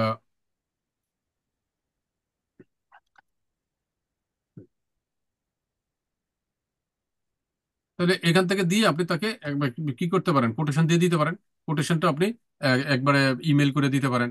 কোটেশনটা আপনি পোস্ট করে দিতে পারেন। তাহলে পোস্ট কোটেশনটা পাইলো ইমেলে পাওয়ার পরে সে হয়তো আপনার সাথে নেগোশিয়েট করা লাগতে পারে। যে, ভাই, না প্রাইসটা একটু কমান। না, ভাই ডেলিভারি ডেটটা একটু আগানো যায় না। না, ভাই, আপনি পেমেন্ট টার্ম আমাদের তিরিশ দিনের ক্রেডিটে দেওয়া যায় না। অথবা আপনি মানে বললেন যে, না, ভাই, এটা আমার ক্যাশ সেলস বা অ্যাডভান্স ক্যাশ দিয়ে মাল নিতে হবে। অথবা ক্যাশ অন ডেলিভারি এই টার্মস গুলি সবগুলি নেগোশিয়েট করার পরে যদি মনে হয় যে না আমার আবার আমাকে রিকোটেশন করা লাগতে পারে তাহলে আপনি আবার তাকে রিভাইজ কোটেশন পাঠাতে পারবেন। হ্যাঁ? তারপরে আগের কোটেশনটা একবার কোটেশন দিছেন ওই কোটেশনটা ধরেন এক্সপায়ার করে গেছে। এখন আর সেই প্রাইস নাই। তিন মাস পরে আবার কোটেশন চাচ্ছে। তখন আপনি আগের কোটেশনটাকে ডুপ্লিকেট করে যেই জায়গার মধ্যে পরিবর্তন করতে হবে সেই জায়গাটা পরিবর্তন করে আপনি তাকে দিয়ে দিলেন। সেটারও সুযোগ আছে। সময় বাঁচানোর জন্য। তাহলে কোটেশনটা দিলেন, দেওয়ার পরে সে অ্যাপ্রুভ করল, করার পরে আপনার সে একটা পার্চেজ অর্ডার দিল, তখন আপনি এটা হয়ে গেল। মানে এই, এটাকেই আপনি কনভার্ট করে ফেলতে পারেন সেলস অর্ডার হিসেবে। তাহলে সেলস অর্ডার হিসেবে যদি কনভার্ট করে ফেলেন, তাহলে আপনার এখানে চলে আসবে চলে আসলে সেলস অর্ডার পর্যন্ত একটা কাস্টমার অ্যাকুইজিশন হয়ে গেল, আপনার কাছে একটা কাস্টমার চলে আসলো। তাহলে এখন কার কাজটা কি হবে? তার পরবর্তী কাজ হবে মানে আরেকটা মডিউলের মাধ্যমে, সেটা আমরা দেখাচ্ছি। তাহলে যেই অর্গানাইজেশনের মধ্যে অনেক বেশি কাস্টমার নিয়ে ডিল করে তাদের তো কাস্টমারের রেকর্ড রাখা দরকার আছে আছে না? হিস্ট্রি রাখা দরকার আছে না?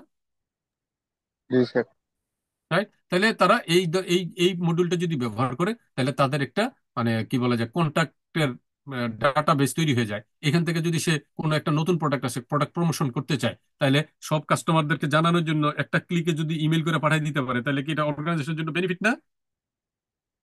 রাইট রাইট রাইট সেটাও সে এখান থেকে করতে পারে এই জন্য এটাকে বলা হয় কাস্টমার রিলেশনশিপ ম্যানেজমেন্ট জি জি।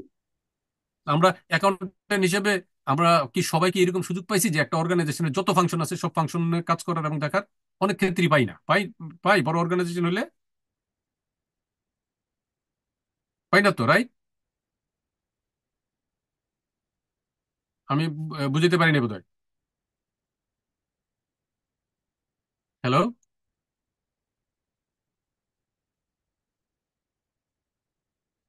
আপনারা কি আমাকে শুনতে পাচ্ছেন? এবার শুনতে পাচ্ছি তো? জি। জি হ্যাঁ। স্যার শুনতে পাচ্ছি। আচ্ছা আমি যেটা বলছিলাম সেটা হলো যে অনেকে অনেক জায়গায় আমরা চাকরি করি রাইট বড় অর্গানাইজেশন হলে হয়তো আমাকে অ্যাকাউন্টস ডিপার্টমেন্টের অ্যাকাউন্টস পেয়েবল ম্যানেজ করার জন্য আমার কাজে লাগাইছে। আমি আর বাকি জগৎ সম্পর্কে কিছু জানিও না দেখিও না দেখায়ও না।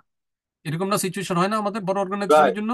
এটি এটি বাস্তবতা এবং এটি হচ্ছে নর্মালি হ্যাঁ এটাই নর্মাল হচ্ছে। কিন্তু আপনি দেখেন ইআরপি শিখার কারণে আপনার কিন্তু একটা বিজনেসের থ্রি সিক্সটি ডিগ্রি ধারণা আপনার মধ্যে জন্ম নিতেছে।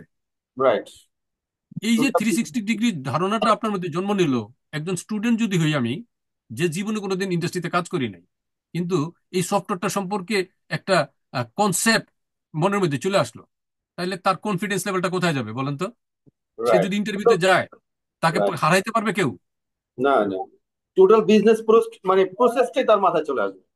বিজনেস প্রসেস তো এই জন্য আমি বলি, এবং প্রত্যেকটা জায়গায় আমি সংগ্রাম করে যাচ্ছি দস্তুর মতো, সবাইকেই বলি যে, ভাই, শিখেন। আপনার ধরেন এই যে আজকে যে আজকে ক্লাসটা নিচ্ছি বা দুই তিন দিন ক্লাস নিচ্ছি, আমি কিন্তু এক্সপেক্ট করছিলাম যে মিনিমাম একশো তো হওয়া উচিত। কিন্তু হয় নাই। তার মানে আমরা শিখতে চাই না কেন এটা আমি বুঝতে পারতেছি না। কিন্তু শিখলে কিন্তু কাজে লাগবে, এটা লস হবে না কখন।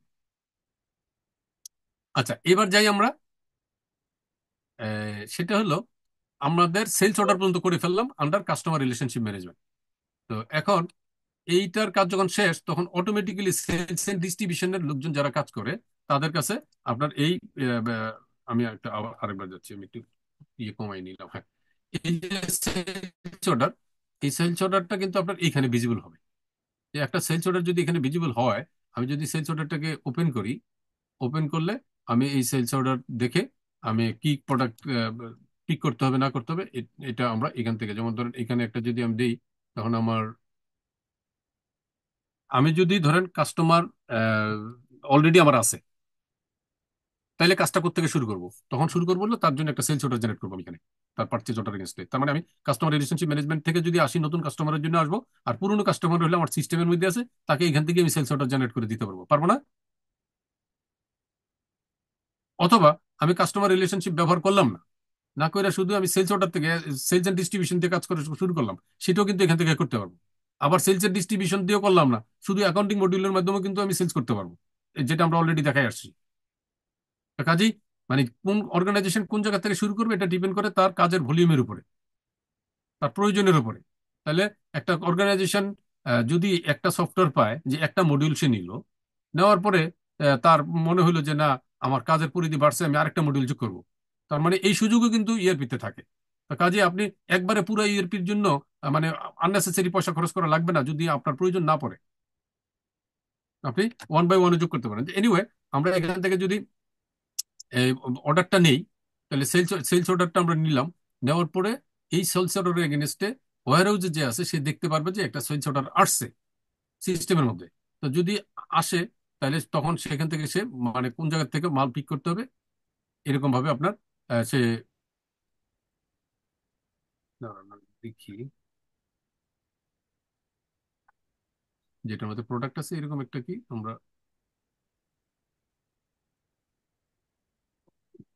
এখানে তো একটু মনে হয় গ্লিচ আছে।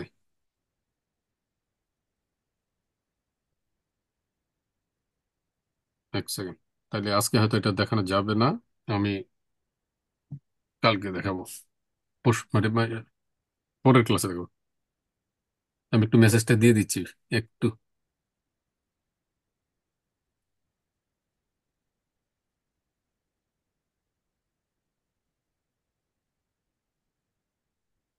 মোহিত আচ্ছা ওই যে আমাদের সেলস অর্ডার প্রসেসিং এর হ্যাঁ? পিক প্যাক ডেলিভার এই প্রসেসটা আপনি একটু দেখে দিন তো আমার নেক্সট ক্লাসের মধ্যে সেটা দেখাবো। এটা মানে লোডিং হচ্ছে দেখাচ্ছে না পুরো। আচ্ছা। আপনার নেক্সট ক্লাস কবে? সেটা এগারো তারিখে প্ল্যান আছে। এগারো তারিখে হওয়ার কথা আর কি হ্যাঁ? মানে পরশু দিন। আচ্ছা আচ্ছা আচ্ছা আচ্ছা। ঠিক আছে ভাই তাহলে আমি দেখে দেবো। হ্যাঁ এটা ডেমো কোম্পানিতে তো এটা হয়তো অনেকদিন ধরে মানে অনেক কাজ করতে যে এটা কোনো সমস্যা হয়েছে বলে ঠিক আছে ওকে ঠিক আছে। সরি আমি আগে বাড়তে পারলাম না, এটা দেখাইতেছে না। তো এখান থেকে আমি সেলস অর্ডার থেকে অ্যালোকেটও করতে পারি প্রোডাক্ট পিক করতে পারি প্যাক করতে পারি, তারপরে ডেলিভারি করতে পারি এখান থেকে ইনভয়েসও করে ফেলতে পারি। এই ইনভয়েসটি কিন্তু অ্যাকাউন্টিং মডিউলের মধ্যে অটোমেটিক্যালি চলে যাবে, যদি এই এই মডিউলের মাধ্যমে আমরা আগাই। তার মানে ইনভয়েস আমরা এটার মাধ্যমে গেলে তখন অ্যাকাউন্টিং এর যে লুক আছে বা অ্যাকাউন্টসের যে কাজ করে, তাকে কিন্তু ইনভয়েস করতে হবে না। সেলসের লুকই কিন্তু ইনভয়েস করে ফেলতে পারতেছে। তার মানে লোডটা ডিস্ট্রিবিউট হয়ে গেল। মানে অ্যাকাউন্টিং পিপলের উপরে কিন্তু লোড কমে যাবে। তাই না? যদি এরকম প্রতিনিয়ত বিক্রি হইতে থাকে আর বিক্রি করার কাজটা যদি সেলসের লোকজন করে ফেলে, তাহলে আপনার অ্যাকাউন্টস এর লোক হিসেবে এটার উপরে তো আপনার তেমন কোনো কাজ নেই। তাহলে দেখা যে ঠিকভাবে করছে কিনা। আমার সেলস অর্ডারে ছিল পাঁচশো পিস আর রিসিভ করছে হলো তিনশো পিস আমার ইনভয়েস থেকে তিনশো পিসের উপর হয়েছে নাকি পাঁচশো পিসের উপর হয়েছে সেই চেক অ্যান্ড ব্যালেন্সটা আপনি এখান থেকে দেখতে পাবেন বা আমি অর্ডার পাইছি হলো পাঁচ হাজার পিস আর ডেলিভারি করতে যে আমার চার হাজার পিসের বেশি ছিল না, আমি চার হাজার পিসের বেশি দিতে পারি নাই, তা আমি বিল কি চার হাজার পিসের করলাম, নাকি আমি পাঁচ হাজার পিসের বিল করে ফেললাম? এগুলি সব মানে চেক এন্ড ব্যালেন্স হয়ে যায় স্বয়ংক্রিয়ভাবে। তো এটাও একটা বিরাট অ্যাডভান্টেজ যে আপনি ডিক্লারেশনের চেয়ে উল্টাপাল্টা কাজ করে স্টোরের লোকজন আপনাকে উল্টাপাল্টা বুঝাতে পারবে না। ঠিক না? তাহলে সেলস এন্ড ডিস্ট্রিবিউশনটা আমরা দেখাবো নেক্সট নেক্সট ক্লাসে তো আমরা মোটামুটি ভাবে একটা ধারণা পাইলেন যে সেলস অর্ডার প্রসেসিংটা কীভাবে চলে। তাই? সিমিলারলি আমাদের সাপ্লাই রিলেশনশিপ ম্যানেজমেন্ট একটা আছে। এটার মধ্যে আপনার গেলে কাস্টমার রিলেশনশিপের উল্টাটা আপনি এখান থেকে পাবেন যে এখান থেকে ম্যাটেরিয়াল রিকুইজিশন রেজ করলে আমি জানি না কার কাছ থেকে কিনতে হবে কোথেকে কিনতে হবে সোর্সিং করা লাগে। তখন আমি এক্সপ্রেস অফ ইন্টারেস্ট আহ্বান করি। সেটা পত্রিকার মাধ্যমে করতে পারি, সেটা টেলিফোনের মাধ্যমে করতে পারি বা সেটা অন্য কোনো ভাবে সাপ্লায়ারের কাছে পৌঁছতে পারি। তখন সাপ্লায়াররা সেগুলি এক্সপ্রেশন অফ ইন্টারেস্ট সাবমিট করে, সেটা অডিট করে দেখি যে সে ক্যাপাবল কিনা বা তার যেই প্রোডাক্টের জন্য চাচ্ছি সেই প্রোডাক্ট সে দিতে সক্ষম কিনা। এরপরে আমরা তাকে ইভ্যালুয়েট করে কোয়ালিফাইড সাপ্লায়ার নির্বাচন করি। কোয়ালিফাইড সাপ্লায়ার নির্বাচন করার পরে তখন আমরা ফাইন্যান্সিয়ালটা দেখি। কোটেশন চাই। কোটেশনটা দেখে কম্পেয়ার করে তারপরে কোটেশনের উপর ভিত্তি করে কাকে অর্ডার দিব, কতটুকু দিব, সেটা ডিসিশন নিয়ে তখন আমরা পারচেস অর্ডার ইস্যু করি প্রকিউরমেন্টের দিক থেকে। তো এই কাজটা হবে আপনার সাপ্লাই রিলেশনশিপ ম্যানেজমেন্টের মাধ্যমে কাস্টমার রিলেশনশিপ ম্যানেজমেন্টের মাধ্যমে সেলস অর্ডার পর্যন্ত, আর সাপ্লাই রিলেশনশিপ ম্যানেজমেন্টে হলো পারচেজ অর্ডার রিসিভ করা পর্যন্ত মানে পাঠানো পর্যন্ত। এরপরে পারচেজ অর্ডার পৌঁছানো গেল, এবার মাল ডেলিভারি দিবে। তো মাল ডেলিভারি যদি দেই, তখন পারচেজ অর্ডার আমরা এগেনস্টে পারচেজ অর্ডারটাকে অ্যাপ্রুভ করতে পারি, করে তারপরে আপনার পারচেজ অর্ডারটা প্লেস করতে পারি সাপ্লায়ারের কাছে। সাপ্লায়ার যখন মাল ডেলিভারি দিয়ে দেয় অথবা মাল তৈরি করে ফেলে, তখন আমরা সেই মাল ইন্সপেকশন করতে পারি। ইন্সপেকশন করে যদি গুড কোয়ান্টিটি পাই রিসিভ করব। আর যদি ফল্টি থাকে বা ড্যামেজ থাকে, তাহলে রিটার্ন করে দিব এই পর্যায়ে। তারপরে আমাদের গুডস রিসিভ নোট তৈরি হবে। তৈরি হওয়ার পরে তারপরে আমার পারচেজ ইনভয়েস রেকর্ড হবে। তখন অ্যাকাউন্টস পেয়েবলটা ক্রেডিট হবে। এবং ইনভেন্টরি অথবা পারচেজ যেই কোডের মধ্যে, যেই লেজারের মধ্যে আমরা রেকর্ড করতে চাই, সেটা ডেবিট হবে। তো দিলে এখান থেকে পারচেজ ইনভয়েসটাও কিন্তু আপনার অ্যাকাউন্টিং মডিউলের মধ্যে আপনার এইখানে ট্রানজেকশনের মধ্যে পারচেজ ইনভয়েসের অন্তর্ভুক্ত হয়ে যাবে। তার মানে এটা ওইটার সাথে লিঙ্ক করা। তখন আপনার ঠিক এইভাবে পুরো প্রসেসটা কমপ্লিট হবে। তারপরের প্রসেসটাই হলো পেমেন্ট করা। তো পেমেন্ট করতে গেলে এখানেও তো আমি দেখতে পারি চেক করে যে আমি পারচেজ অর্ডার দিছি কত? এপ্রুভ করা পারচেজ অর্ডার তার এগেনস্টে আমি ডেলিভারি পাইছি কত? ডেলিভারির মধ্যে গুড কোয়ান্টিটি কতটুকু পাইছি? সে কি আমাদেরকে চেয়ে বেশি বিল করে ফেলল কিনা? তাহলে পেমেন্টের ক্ষেত্রেও একটা চেক এন্ড ব্যালেন্স এস্টাবলিশড হবে। তো আজকে আর এর চেয়ে বেশি না গাই। আজকে আপনাদের কাছে এখন জেনারেল ডিসকাশনের আপনাদের কোনো প্রশ্ন থাকলে feel free to ask me anything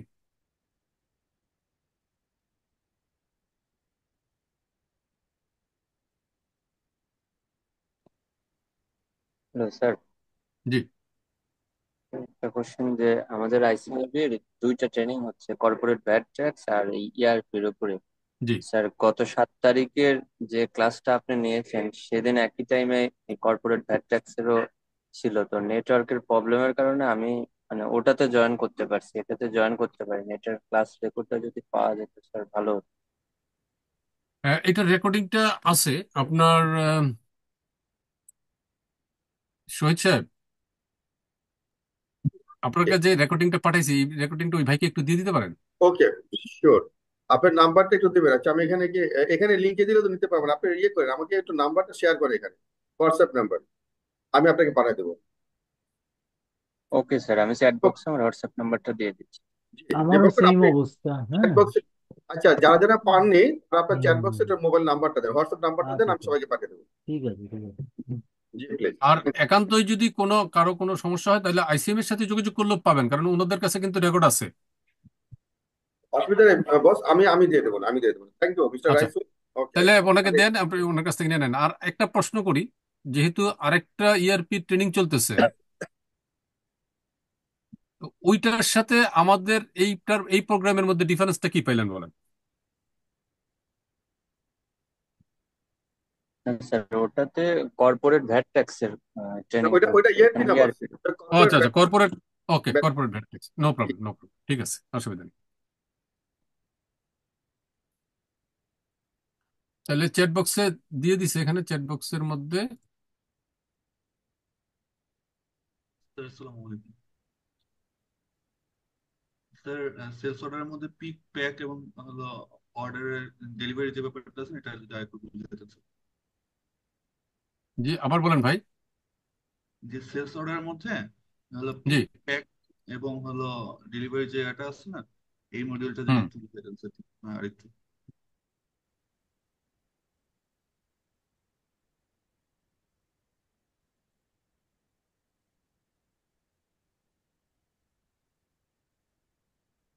এই সেলস অর্ডারের মধ্যে আপনার যখন একটা অর্ডার পাইলেন ধরেন আপনি পাঁচশো পিসের একটা অর্ডার পেলেন হ্যাঁ? সেটা একটা প্রোডাক্ট হইতে পারে মাল্টিপল প্রোডাক্ট হইতে পারে। তো এখন এই প্রোডাক্টটা আপনার অ্যালোকেশন যেটার মাধ্যমে করা হয় অ্যালোকেশনটা হইল যে আমি কোন ব্যাচের মালটা আপনি এই কাস্টমারকে দিব। একটা আগে দিব যেটা মানে লং পিরিয়ড আছে, সেটা হয়ে যায়, তাহলে তো ফেলে দিতে হবে। তো এইটা কন্ট্রোল করার জন্য আপনি প্রোডাক্টটাকে অ্যালোকেট করতে পারেন।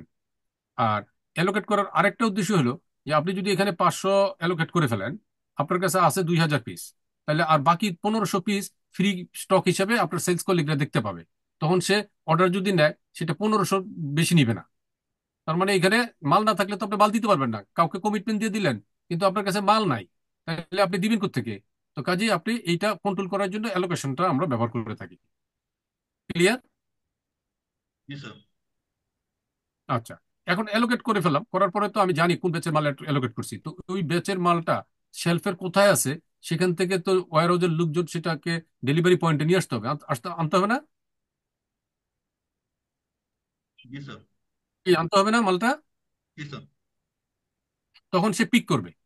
কোন শেলফের মধ্যে এই ব্যাচের মালটা কোথায় আছে সেখান থেকে সে পিক করবে। পিক করে সেরে এখন যদি ধরেন একটা প্রোডাক্ট না হয় মাল্টিপল প্রোডাক্ট হয় অথবা খোলা প্রোডাক্ট হয় যেটা আপনার এখন প্যাক করার দরকার, তখন সে সিস্টেমের মাধ্যমে বলবে যে এটা আমি প্যাক করব। তা প্যাক করতে গেলে অনেক সময় এরকম হয় যে আমি পঁচিশটা করে এক একটা বক্সের মধ্যে পঁচিশ পিস করে ধরে। আমি পঁচিশ পিস করে বক্স বক্স নিয়ে আসছি, এখন বিভিন্ন প্রোডাক্ট আছে সে অর্ডার দিছে ফ্র্যাকশনাল কোনো হয়তো দশ দশ পিস আছে যেটা প্যাকেট ভাঙ্গা দিতে হবে। তো আপনার সিস্টেমকে যদি আপনি ওইভাবে ভাঙ্গা দেওয়ার প্রভিশন রাখেন, তাহলে ভাঙ্গা দিতে পারবেন। আর যদি ভাঙ্গা দেওয়ার প্রভিশন না দেন তাহলে ওই প্যাক অনুযায়ী কিন্তু অর্ডার দিতে হবে কাস্টমারের তখন আপনি এটাও কন্ট্রোল করতে পারেন। তো যাই হোক যদি মাল্টিপল প্রোডাক্ট হয় এখন এটা প্যাক করা বলতে এরকম হইতে পারে যে আপনি দশটা ছোট ছোট বক্সকে বড় একটা বক্স কার্টনের মধ্যে ঢুকাইলেন ডেলিভারির স্বার্থে। হইতে পারে না? তাহলে ওয়ারহাউজের লোকজন সেই প্যাকটা করবে। যদি প্যাকটা না করার দরকার হয় তাহলে সে এটারে ইগনোর করতে পারে। আমরা সিস্টেমের মধ্যে কনফিগার করে দিতে পারি যে প্যাক ফাংশনটা দেখায় না। যেহেতু মানে ইনটেক কার্টুন টু কার্টুন বিক্রি হয়। তাও কিন্তু করতে পারবেন। বুঝতে পারছি? এইবার আপনি প্যাক হয়ে গেল রেডি আছে রেডি ফর ডেলিভারি তখন আপনি ডেলিভারিটা রেকর্ড করলেন যে হ্যাঁ ডেলিভারি দিয়ে দিছি। তো ডেলিভারি দেওয়ার সময় আপনার আপনাকে প্রশ্ন করবে যে তুমি কি ইনভয়েসও করতে চাও কিনা? যদি আপনি বলেন হ্যাঁ করতে চাই তাহলে ইনভয়েসটা স্বয়ংক্রিয়ভাবে ইনভয়েসটা হয়ে যাবে। আর যদি আপনি বলেন যে না এখন ইনভয়েসটা করতে চাই না সে আগে ডেলিভারি পাবে ডেলিভারি পাওয়ার পরে অ্যাকনোলজমেন্ট পাঠাবে তখন আমরা ইনভয়েসটা করব। তখনও আপনি ইনভয়েসটা করতে পারেন।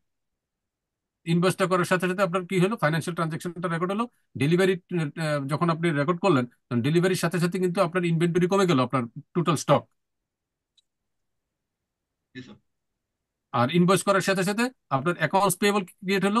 আপনার যেহেতু এটা সেলস ইনভয়েস আপনার কস্ট অফ গুড সোল্ড হলো এটার উপরে ট্যাক্স ভ্যাট থাকলে সেটাও আপনার রেকর্ড হয়ে গেল। আপনি ওই যে ভিএটি রিপোর্টের মধ্যে সেই ভিএটি ট্রানজাকশন গুলি আপনি পেয়ে যাবেন পারচেজ লেজারের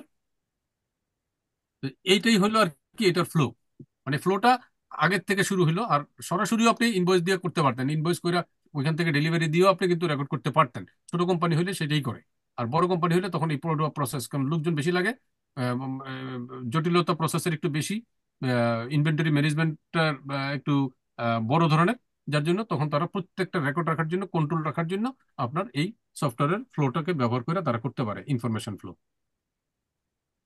স্যার স্যার আমার একটা কথা ছিল। স্যার ওই আমি কাস্টমার যে সেলস অর্ডারটা সেলস অর্ডারটা একটু যদি একটু কষ্ট করে একটু দেখাই দিতেন আমি ওটা আহ, করতে পারছি না। সে সেলস অর্ডার বা পারচেজ অর্ডার যেটাই হোক। সেলস অর্ডারে আপনি এই যে এখানে আপনি সেলস অর্ডারের মধ্যে আপনার এটা কোটেশন থেকে কনভার্ট করেও করতে পারেন অথবা সরাসরি কাস্টমার দিয়ে আপনি এখান থেকে করতে পারেন। ধরেন একটা কাস্টমার এখানে আপনি রেকর্ড করলেন। ওই যে আমরা যে সেলস ইনভয়েস এবং পারচেজ ইনভয়েস করি তার মতোই। সে কত কত তারিখে ডেলিভারি চাচ্ছে সেটাও আপনি বসাই দিলেন। হ্যাঁ? তারপরে আপনার যদি এটা এক্সপোর্ট হয় তাহলে কারেন্সি লাগবে নাহলে লাগবে না। তারপরে আপনার এখানে নিচে এসে সে যদি কোনো মানে পারচেজ অর্ডার দিয়ে থাকে তাহলে সেটাকে অ্যাটাচমেন্ট করে রেখে দিতে পারবেন। এই যে অ্যাটাচমেন্ট বাটন আছে। তারপরে আপনি এখানে অ্যাড রো দিবেন। অ্যাড রো দিয়ে আপনি এখানে যে প্রোডাক্টটা সেই প্রোডাক্টটা সিলেক্ট করবেন। তাহলে ডেসক্রিপশন চলে আসবে এখানে কোয়ান্টিটিটা বসাই দিলেন। তারপরে প্রাইস সিস্টেমে থাকলে সিস্টেম থেকে চলে আসবে অথবা যদি চেঞ্জ প্রাইস হয় বা ডিফারেন্ট প্রাইস হয় আপনি প্রাইস বসাতে পারলেন। এটার উপর ভিটি প্রযোজ্য হলে ভিটি বসাতে পারলেন। সাপ্লিমেন্টারি ডিউটি দিলে সাপ্লিমেন্টারি ডিউটি বসাতে পারলেন। এভাবে দিয়ে তারপরে আপনি সেভ করে ফেললেন। মানে তাহলে আপনার প্রথমে প্রথমে মানে আমার কাস্টমারটা আগে অ্যাসাইন করে নিতে হবে না প্রোডাক্টটা হ্যাঁ। অ্যাসাইন করে নিতে প্রথমে কাস্টমার কাস্টমার কাস্টমার আপনি কা- আনতে পারেন অথবা কোটেশন থেকে যদি আপনি কনভার্ট করে নিয়ে আসেন তাহলে হুম। কোটেশন থেকে এই তাহলে এটা রেকর্ড আগে আহ, মানে যেটা কোটেশন পাঠাইছেন সেইটার হুম। ডিটেলসটা চলে আসবে।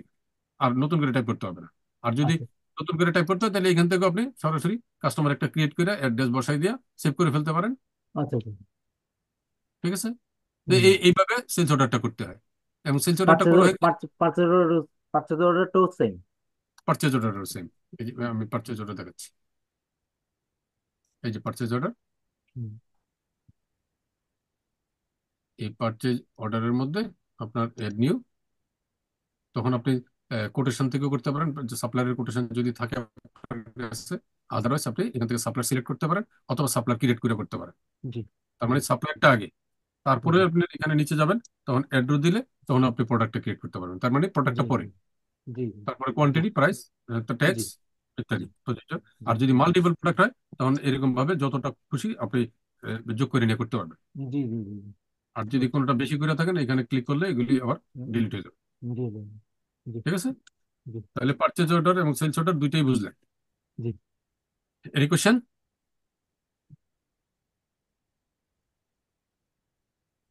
আর কোনো কোশ্চেন কারও কাছ থেকে? অথবা ক্লাস তো শেষ সফটওয়্যার হয়ে যাবে ক্লাস তো শেষ হয়ে যাবে আরেকদিন। তো আপনি একটু যদি আমাদের যদি একটু মেইল অ্যাড্রেসটা যদি দিতেন তা আমরা যদি কোনো আহ, আহ, আটকায় টাটকায় যাই তা একটু আপনাকে একটু ডিস্টার্ব করি। আচ্ছা। আচ্ছা তাহলে এখানে আমি আমার মেল অ্যাড্রেসটা দিয়ে দিলাম। এটাতে এটা হলো আমার পার্সোনাল হ্যাঁ? জি। আর আরেকটা কোম্পানিরও আছে। যে এটা একটা দিলাম আরও একটা দিতেছি। আপনি যে কোনো একটাতে করে দিন হাকিমের ERP to all dot com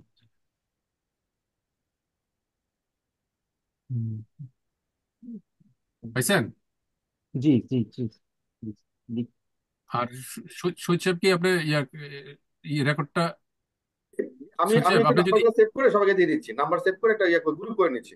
আমি গ্রুপে দিয়ে আচ্ছা একটা একটা গ্রুপ করে ফেলেন ওইটার মধ্যে গ্রুপ রাখেন আমি তাই গ্রুপ গ্রুপ করে হ্যাঁ, একটা হোয়াটসঅ্যাপ গ্রুপ করেন ওইটা দিয়ে যদি কোনো আমি প্রশ্ন আমি তাই করছি বস অলরেডি ডান ঠিক আছে। তাহলে আপনি সবগুলি নাম্বার নিতে পারছেন বাই দিস টাইম যে যারা যারা দিছে। এখানে বিপুল একজন আছে উনি থেকে মানে জয়েন করছেন? বিপুল?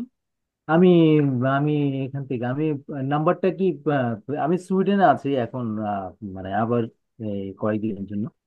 আচ্ছা তো আচ্ছা। এই জন্য আমার নাম্বারটা ওইটা। বুঝতে পারছি। এই জন্য আমি বুঝ- বুঝলাম যে প্লাস ফোর সিক্স যেহেতু। জি সুইডেনে কি আপনি চাকরি করেন নাকি ওখানে কোনো কাজে আসছেন? আহ, এখানে আসছি কাজেই আসছি আসছি একটা। আহ, আচ্ছা ওইখানে তো আমাদের আহ, আমাদের মেম্বারও আছে। ও মিঠু কে নামে একজন আছে। মিঠু না? কোথায় থাকেন? আহ, সুইডেনেই থাকে মানে স্টকহোমে থাকে? সিটিতেই থাকে হ্যাঁ। ও স্টকহোমেই থাকে। আমি স্টকহোমে আছি। আচ্ছা আচ্ছা। আপনি কি আপনার আহ, হুম। জি বলেন বলেন। জি। আপনার ফোন নাম্বার যদি আহ, দিতেন আহ, আচ্ছা যদি দেন তো দিলেন। আহ, এই মুহূর্তে রেডি না আপনি তাহলে নেক্সট ক্লাসে আমি চেষ্টা করব না দেওয়ার জন্য ঠিক আচ্ছা আছে? ঠিক আছে ঠিক আছে ঠিক আছে। অবশ্য ও মানে আহ, সুইডেনে তার ফ্যামিলি থাকে সে আবার আহ, আপেলে চাকরি করে তো সে ইয়েতে এই লন্ডনেও বসে ও দুই জায়গায়। আচ্ছা আচ্ছা আচ্ছা আচ্ছা আচ্ছা। ঠিক। আগে বেশিরভাগ সময় সুইডেনে থাকতো এখন বেশিরভাগ সময় লন্ডনে বসে ফ্যামিলি থাকে হলো সুইডেনে। ও আচ্ছা। তো তো আবার মানে চলে যাবে ফ্রিকোয়েন্টলি ট্রাভেল করে। ও আচ্ছা। তাহলে এখন আমাদের আমি একটু আপনাদের পরবর্তী ক্লাসের টাইমটা একটু দিচ্ছি। দাঁড়ান আমি এগারো থেকে ক্লাস নেওয়ার কথা। জিপি মানে ডাক্তারের সাথে অ্যাপয়েন্টমেন্ট পড়ছে যেটা চার মাসে একবার অ্যাপয়েন্টমেন্ট দিছে। এটা মিস করলে আবার চার লাগবে। মানে এটা ইমার্জেন্সি না, কিন্তু মানে এটা একটা টেস্ট আর কি টেস্টটা আমার করাইতে হবে। এই জন্য এগারো তারিখে যেটা ছিল আমি আসলে নিতে পারব না ক্লাসটা এখন বারো তারিখ হলো ফ্রাইডে যে আপনার নো প্রবলেম আপনাদেরকে জিজ্ঞাসা করতেছি আমি কি ফ্রাইডেতে নিতে পারি? বা স্যাটারডেতে নিতে পারি? দিলে হবে স্যার। তেরো তারিখ চোদ্দ তারিখ ফ্রাইডে বাদ। শনিবারে নিতে পারেন স্যার। ফ্রাইডে জি স্যার। জি স্যার। আচ্ছা শনিবারে তাহলে আমরা দুইটার সময় মানে আহ, আমরা একই সময় সোয়া দুইটা যে মানে নামাজের পর পর শুরু করব শনিবারে। তার মানে হচ্ছে আপনার স্যাটারডে হচ্ছে তেরো তারিখ সেম টাইম স্যার সেম টাইমে তো স্যার তাই না সেম টাইম জি জি জি স্যাটারডে তেরো তারিখে আমরা সেম টাইমে ক্লাসটা করব সোয়া দুইটার সময় সোয়া দুইটার সময় তো নামাজ শেষ হয়ে যায় স্যার আমাদের বাংলাদেশের টাইমটা কি সাতটা সোয়া সাতটা এই যে আপনাদের বাংলাদেশের টাইম সোয়া সাতটা জি ও আচ্ছা ওকে স্যার ঠিক আছে আর স- আপনাদের সবার সাথে তো পরিচয় এরকম ভাবে হয় নাই তো কাজেই আমরা একটু পরিচয় পর্বটা একটু রাখব না। একটু যার যার পরিচয়টা আমরা নেক্সট ক্লাসে একটু নিব। যেমন ফাহিদি ফাহমিদা খাতুন। আপনার আপনি কি আপনি তো স্টুডেন্ট বোধ হয়। না